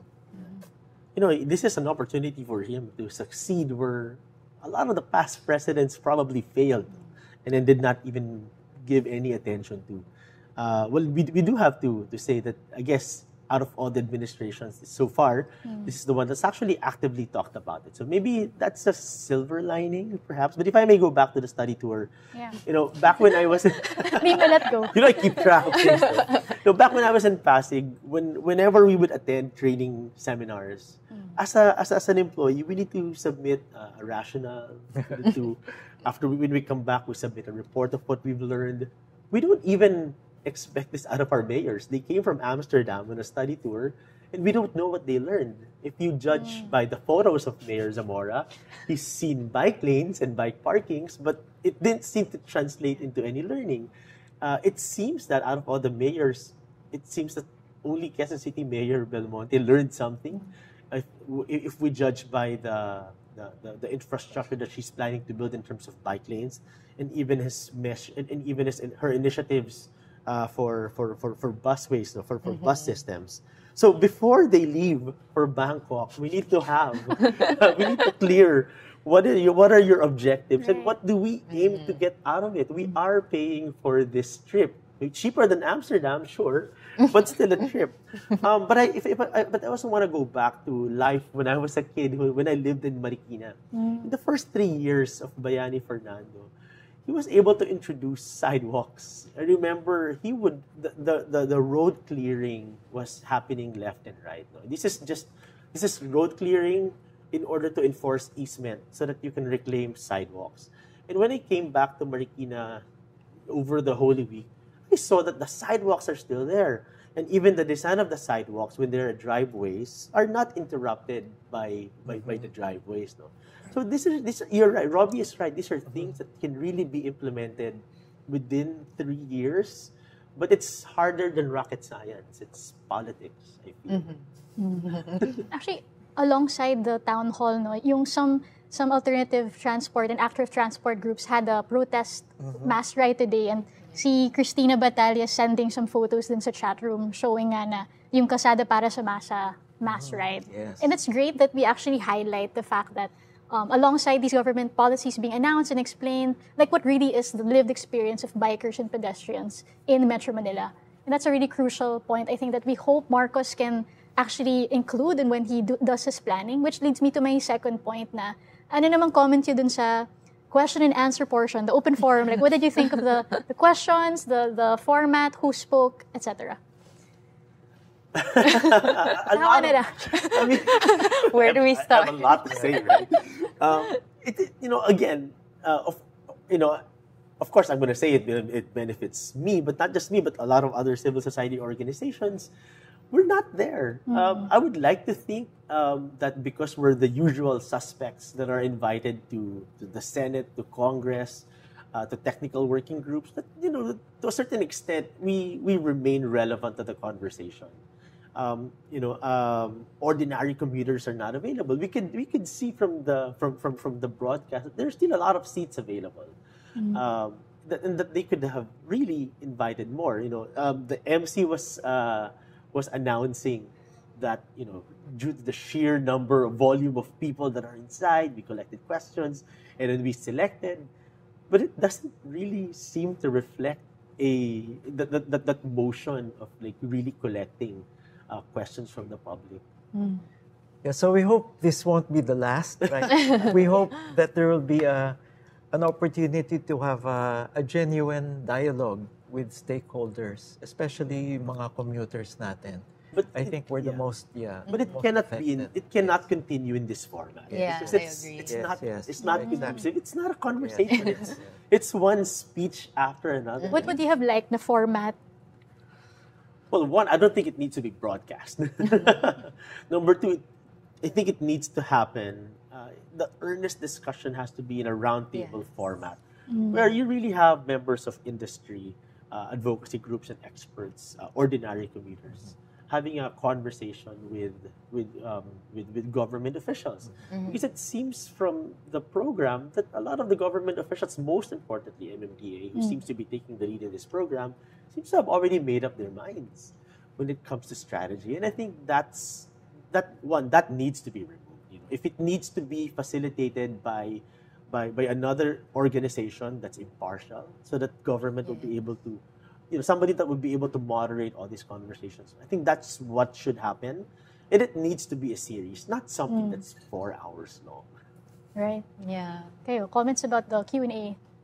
Yeah, I agree with you, Ira. I think it should be a series of conversations and it also should be a roundtable discussion. I think the more, the smaller the group is, the more um, intimate, the more, you know, fo- we could really zoom in on the problems that we want to solve because there were just so many issues being discussed and, you know, we can't really solve all of those things in one sitting. So I think it's good that um, we, we have a series of discussions and it's really like a smaller group. And also, yeah, I think we should I hope to be in, we hope to be invited next time the commuters who actually benefit from these projects so that they could hear what we have to say. Tsaka even yung yung questions na tinanong, no, parang it didn't seem like they were like there was no opportunity for follow-up, for example. So it would be very kind of canned and then you would just let it like stay there and wala, wala man an opportunity to kind of re- really drill down on the answers. And I, guess, I think the most pointed question that I heard was from Francis Maranilla, di ba, of ECOP, na all about, uh, he was asking about, ano ba talaga yung assurances that the public transportation will be improved, the timelines will be followed. So, but there was so much missed opportunity, I felt. Like, lalo na you had the Metro Manila mayors there, but you only had uh, Francis Zamora ask a question in behalf of the mayors when he was already like the welcoming remarks. So parang sayang kasi parang we could have gotten perspectives from other mayors, I felt. Like, someone watching. Tsaka, yun nga, commuters, sobrang, parang the deafening silence from that sector is actually something that struck me, lalo na when you're talking about transportation issues, sila yung most affected. Um, uh, what, what would you think would should be the next steps after this for the government to, to really show na they're genuine about consultation, about having something come out of this town hall? Well, in this one, I think uh, many of the stakeholders invited were from like transport industry groups. But maybe it would be a good chance to maybe have a smaller meeting with yung mga commuter groups to really get their suggestions and feedback, have that type of open dialogue. I think the other opportunity is, and I think it's official. I think we I, I saw a tweet from one of the other TV networks uh, last night that there seems to be a brand new undersecretary uh, for road sector. I think that's an opportunity. I mean, change is always good. Uh, so I may perhaps uh, one of the first things that he can do is host uh, a legitimate mobility roundtable. Again, well, Mm. first of all, this is called a traffic summit, right? So we all know that the scope is limited in itself by, by we're really just talking about a symptom of a larger problem. So perhaps the first thing that he could do is host a first ever mobility roundtable, a legitimate one that really uh, hosts a lot of people. Uh, number two, answer. I mean, answer that that nagging question in my head. Are how do we now have one conversation, and, and, and you know, among all of the other government agencies? They're really all talking about different things. MMDA again, with their solutions that are all very car centric, like illegal car parking, towing guidelines, collapsible barriers, accidents impeding traffic, command centers, you know, traffic light integrations. Uh, you know, there has to be a singular conversation. All of these things need to be put together, and I hope that he's in a position to do that. Um, we need to restart a lot of the government projects that that was that were pending under the the, the, the last undersecretary for road. Um, talk about PUV modernization program um, rather than ramming it down our throats. On April 30, we need to sit back and, and, and try to reanalyze the whole thing. Maybe they're in the right direction by coming up with a PTMP. I haven't I honestly haven't read it yet, but hopefully it improves the implementation. And lastly, hopefully creating a commuter affairs office, as I mentioned earlier, uh, one that we would that would represent the needs uh, of ordinary commuters, uh, even as something as simple as making sure that, that that events like this is truly participated in by the public, and then maybe one that's that's that's that, that has the guidance from a from a multi-sectoral uh, advisory panel. Okay, we want to show some photos no from yung Kasada para sa Masa event. Yes. Ito yung pinadala sa chat room in the Livable Cities chat room by Christina Battaglia from the Make It Safer movement. So maybe we can talk about also that um, that kind of advocacy because I know that you are, are also involved with this movement and this this event. Parang can you tell us a little bit more about what this event aims to to to say and to what is the message of the event? Well, this is really to also counter the the ban of MMTA uh, for e-bikes and e-trikes on uh, 21 of the most important roads in Metro Manila. And effectively, by uh, restricting the use of e-bikes and e-trikes on these roads, it, it renders these types of vehicles like uh, almost useless for travel around Metro Manila. So uh, we believe this is a, uh, a regressive step.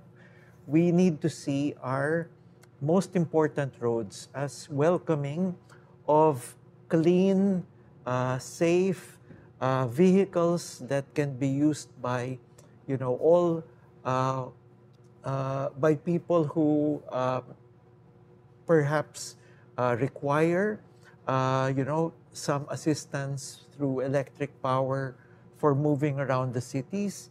It's a very clean, low cost, uh, space efficient form. We need to welcome these types of vehicles into our streets rather than restrict.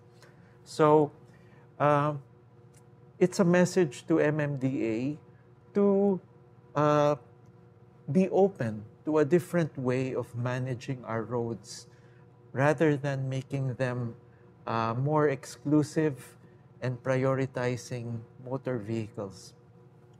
Last portion of our program, no, we actually have Dwight De Leon who's currently um, ready to give us highlights from the town hall. So si Dwight uh, ang nag-cover para sa Rappler nung traffic town hall led by Marcos and he's um, currently still in the venue and uh, we're going to hear from Dwight soon and hopefully we, you also get to ask questions to Dwight. Okay. So Dwight, are you there?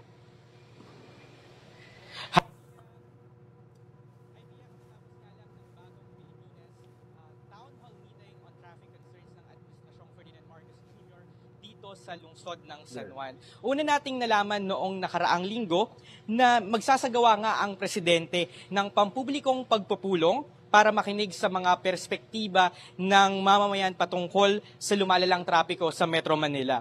Inanyayahan pa niya yung publiko na makilahok although sa comment section. Dito sa town hall though, uh, pansin natin na wala masyadong mga kinatawa ng mga representante mula sa civil society organizations. Una nating naiulat na no, noong nakaraang araw na yung mga transport advocacy groups na inimbita natin ngayon sa panel dyan, ano, gaya ng Move As One Coalition at Alt Mobility PH, ay hindi nakatanggap ng imbitasyon dito sa town hall meeting. Sa halip, uh, dominated itong event na ito, yung gathering na ito ng mga uh, local government units at national government agencies. So kung kaya't parang ang naging siste ay uh, naging town hall ito ng Pangulo para sa mga kawani ng gobyerno. Maging yung open forum ay tila kontrolado yung environment. Kahit pa bago magsimula yung uh, programa ngayong umaga, ay nagsabi yung MCO nang hikayat yung host na magsumite yung mga miyembro ng audience ng kanilang mga katanungan dito. Sa nakita kasi nating draft ng programa a few days back, ang mga naatasang magsalita sa open forum ay sina San Juan Mayor Francis Zamora, uh, ang, uh, pati na rin mga representante ng Employers Confederation of the Philippines, ang CAS, at Pasang Mazda. At sila nga yung nagsalita ngayong araw sa open forum. Iba't ibang ahensya din ang nagbigay ng kanilang talumpati kagaya ng uh, Metro Manila Development Authority, the, the Department of uh, Transportation, Department of Public Works and Highways, at uh, NEDA. Every speech uh, feels like an accomplishment report of some sorts at nabasa nga natin dyan sa Rappler Communities app na tila disjointed yung mga solusyong ibinibigay. Sa DPWH, ang focus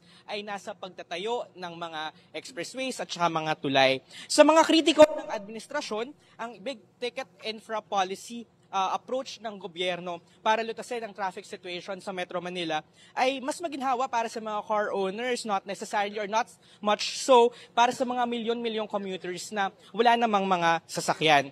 Pero kinikilala ng gobyerno na mas lalong sumisikip ang kalsada dahil nga sa dami ng private vehicles na sumusulong sa kalsada at sa paglobo ng uh, numero sa mga nakalipas na taon. Sabi nga ng Pangulo, ang solusyon ay pagandahin ang mass public transport dahil kung hindi, lalo lang dam, dadami yung mga maiengganyong bumili ng kani-kanilang sasakyan. Si Pangulong Marcos, ibinida rin yung status ng uh, kanyang mga railway projects, so mga railway projects sa ilalim ng kanyang administrasyon. These are uh, long-term projects which are not bad, pero kung tatanungin natin nga yung mga transport advocacy groups, sasabihin nila na dapat ibalanse ito sa mga uh, road-based public transport programs. Wala ring nabanggit patungkol sa proposal ng transport advocacy groups na service contracting para sa libo-libong mga jeepney at saka bus sa kalsada. Nabanggit ng bahagya yung paglalagay ng mga bike lanes o pagdadagdag ng mga bike lanes sa kalsada. Pero hindi malinaw kung mayroon na bang komprehensibong plano. Wala rin akong naalalang nabanggit patungkol sa pag improve sa karanasan ng mga uh, pedestrians pati na rin sa uh, pagsigurong convenient yung commuting experience ng mga vulnerable sectors kagaya ng mga persons with disabilities. Sabi rin ni Pangulo, uh, wala nang extension ng PUV consolidation dead, uh, ng PUV consolidation after the April 30 deadline. At inaasahan nating magiging malaking dagok ito para sa mga uh, jeepney groups na hanggang ngayon ay uh, tinututulan yung PUV modernization. Hindi nabanggit kung magkakaroon ng dagdag na tulong pinansyal o subsidiya para sa jeepney drivers. So yan ang latest mula rito sa San Juan. Pia? Okay, Dwight, maraming salamat.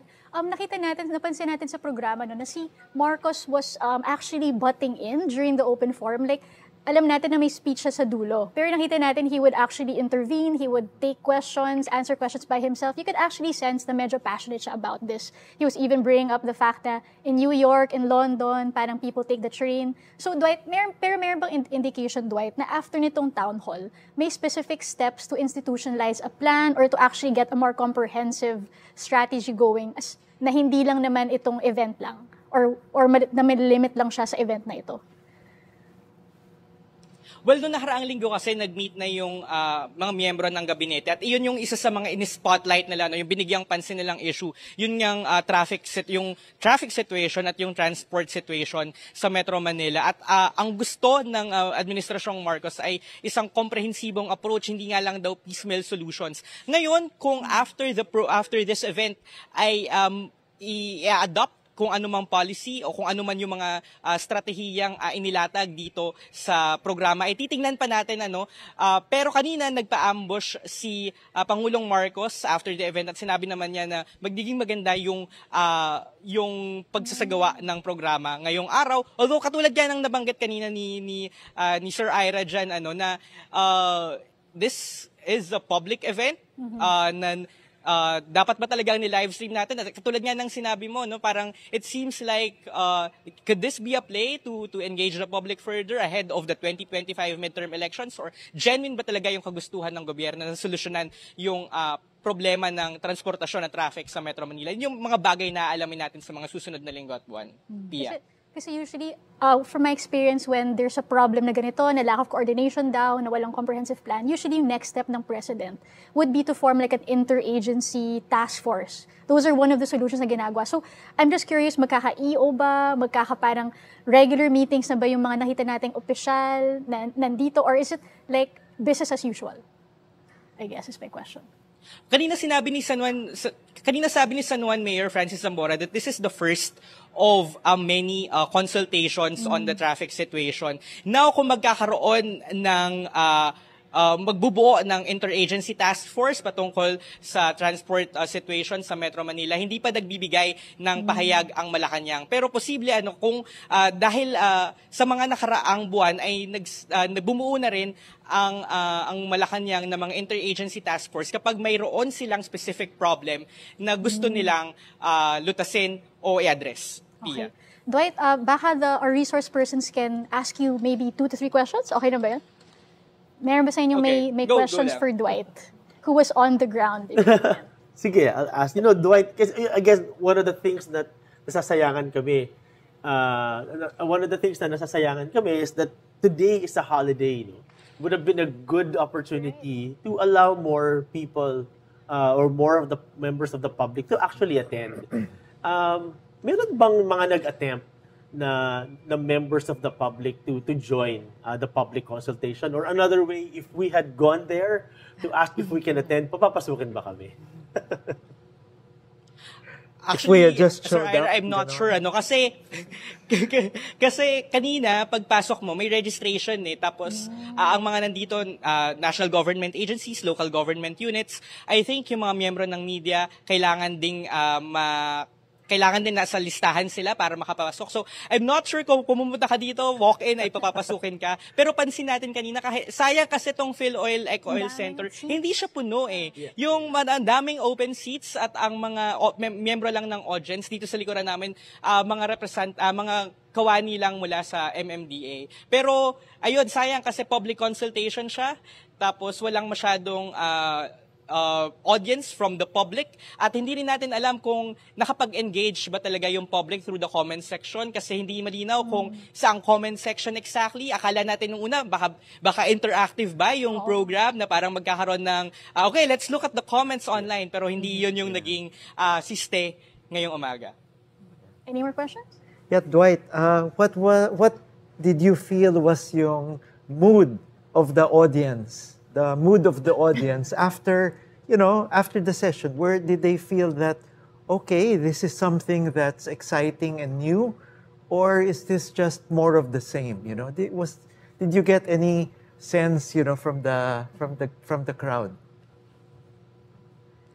I think we have to put this into context na yung mga umattend ng pagpupulong ng, ng town hall ngayong umaga ay mga supporters o mga advocates ng administrasyon. Kung kaya't wala masyadong ah, parang siguro voices of dissent or parang voices para lang ah, mabalanse yung mga ah, sentimiento ah, na ni-raise o yung yung mga ah, proposals na binanggit dito. So kanina syempre nung nung ah, nabanggit ng pangulo na wala ng extension ng consolidation ng PUV consolidation after April 30, we saw ah, Pasang Mazda standing up and cheering uh, uh, pinalakpakan yung sinabi ni Pangulong Marcos. Pero of course, if we saw, uh, kung, kung dumalo dito ang ibang mga uh, PUV group, let's say Manibela, kung nandito sila, I doubt na papalakpakan nila yung uh, yung binanggit ni Pangulong Marcos. Pero among the local government units, kasi may mga, I think, uh, all the mayors in Metro Manila are here. Of course, uh, you don't really expect them to to to outright reject any policy. So, kanina pagtingin naman natin, mukha namang uh, they are welcoming or to the proposals raised here in the forum. Any last? No? Kumusta yung traffic sa labas?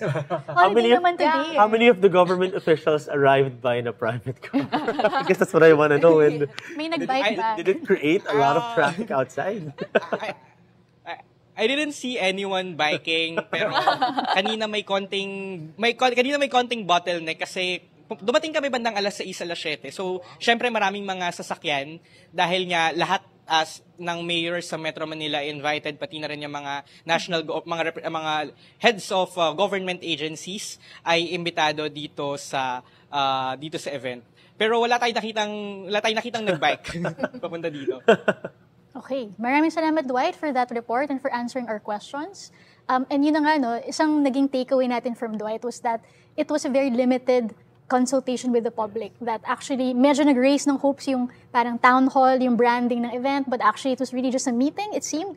Um, and that's actually why we had this live panel because we really wanted to balance um, what the government, what the town hall would say, and what parang other voices would say, para mas may critical eye tayo. So it's actually um, also a mechanism for us to harvest insights um, that maybe were not reflected in the town hall. And that's why actually we're planning na um, pag, pag, tap, pagtapos yung live panel, we will look through the responses we gathered from this panel, but also sa comments ng chat room, and we will uh, collate them, put them in a report type of format, and hand them to the presidential management staff para we can test if talaga bang consultation, if they will appreciate like comments from other entities that gathered um, insights and feedback through other media.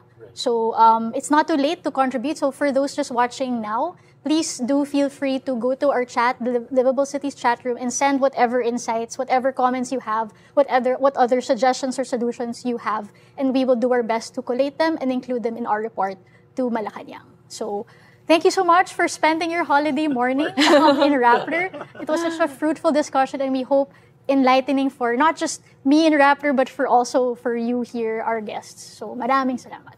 Thank Thank you, you so much for Pia. the yes. Thank you to Rappler. Yes, terrific. And we hope that there will be actual steps taken uh, na maging comprehensive. At tas we're really gonna wait for the, parang hindi lang to daw yung last consultation um, and hoping to see a better consultation format. Keeping your fingers crossed. Yeah, let's see. And let us know if you get invited. Of course, of course, of course. We'll let you know. We'll invite yourselves. All right, so thank you again to all our viewers for watching this episode. We are always going to be covering this issue. Uh, we have a campaign in Rappler with 11 civil society partners called Make Manila Livable, and this is really part of that campaign to ensure that voices of uh, people concerned about livability in Metro Manila and other Philippine cities are heard by powerful people. Thank you so much for watching. Again, I'm Pierre Nada. See you next time. Goodbye.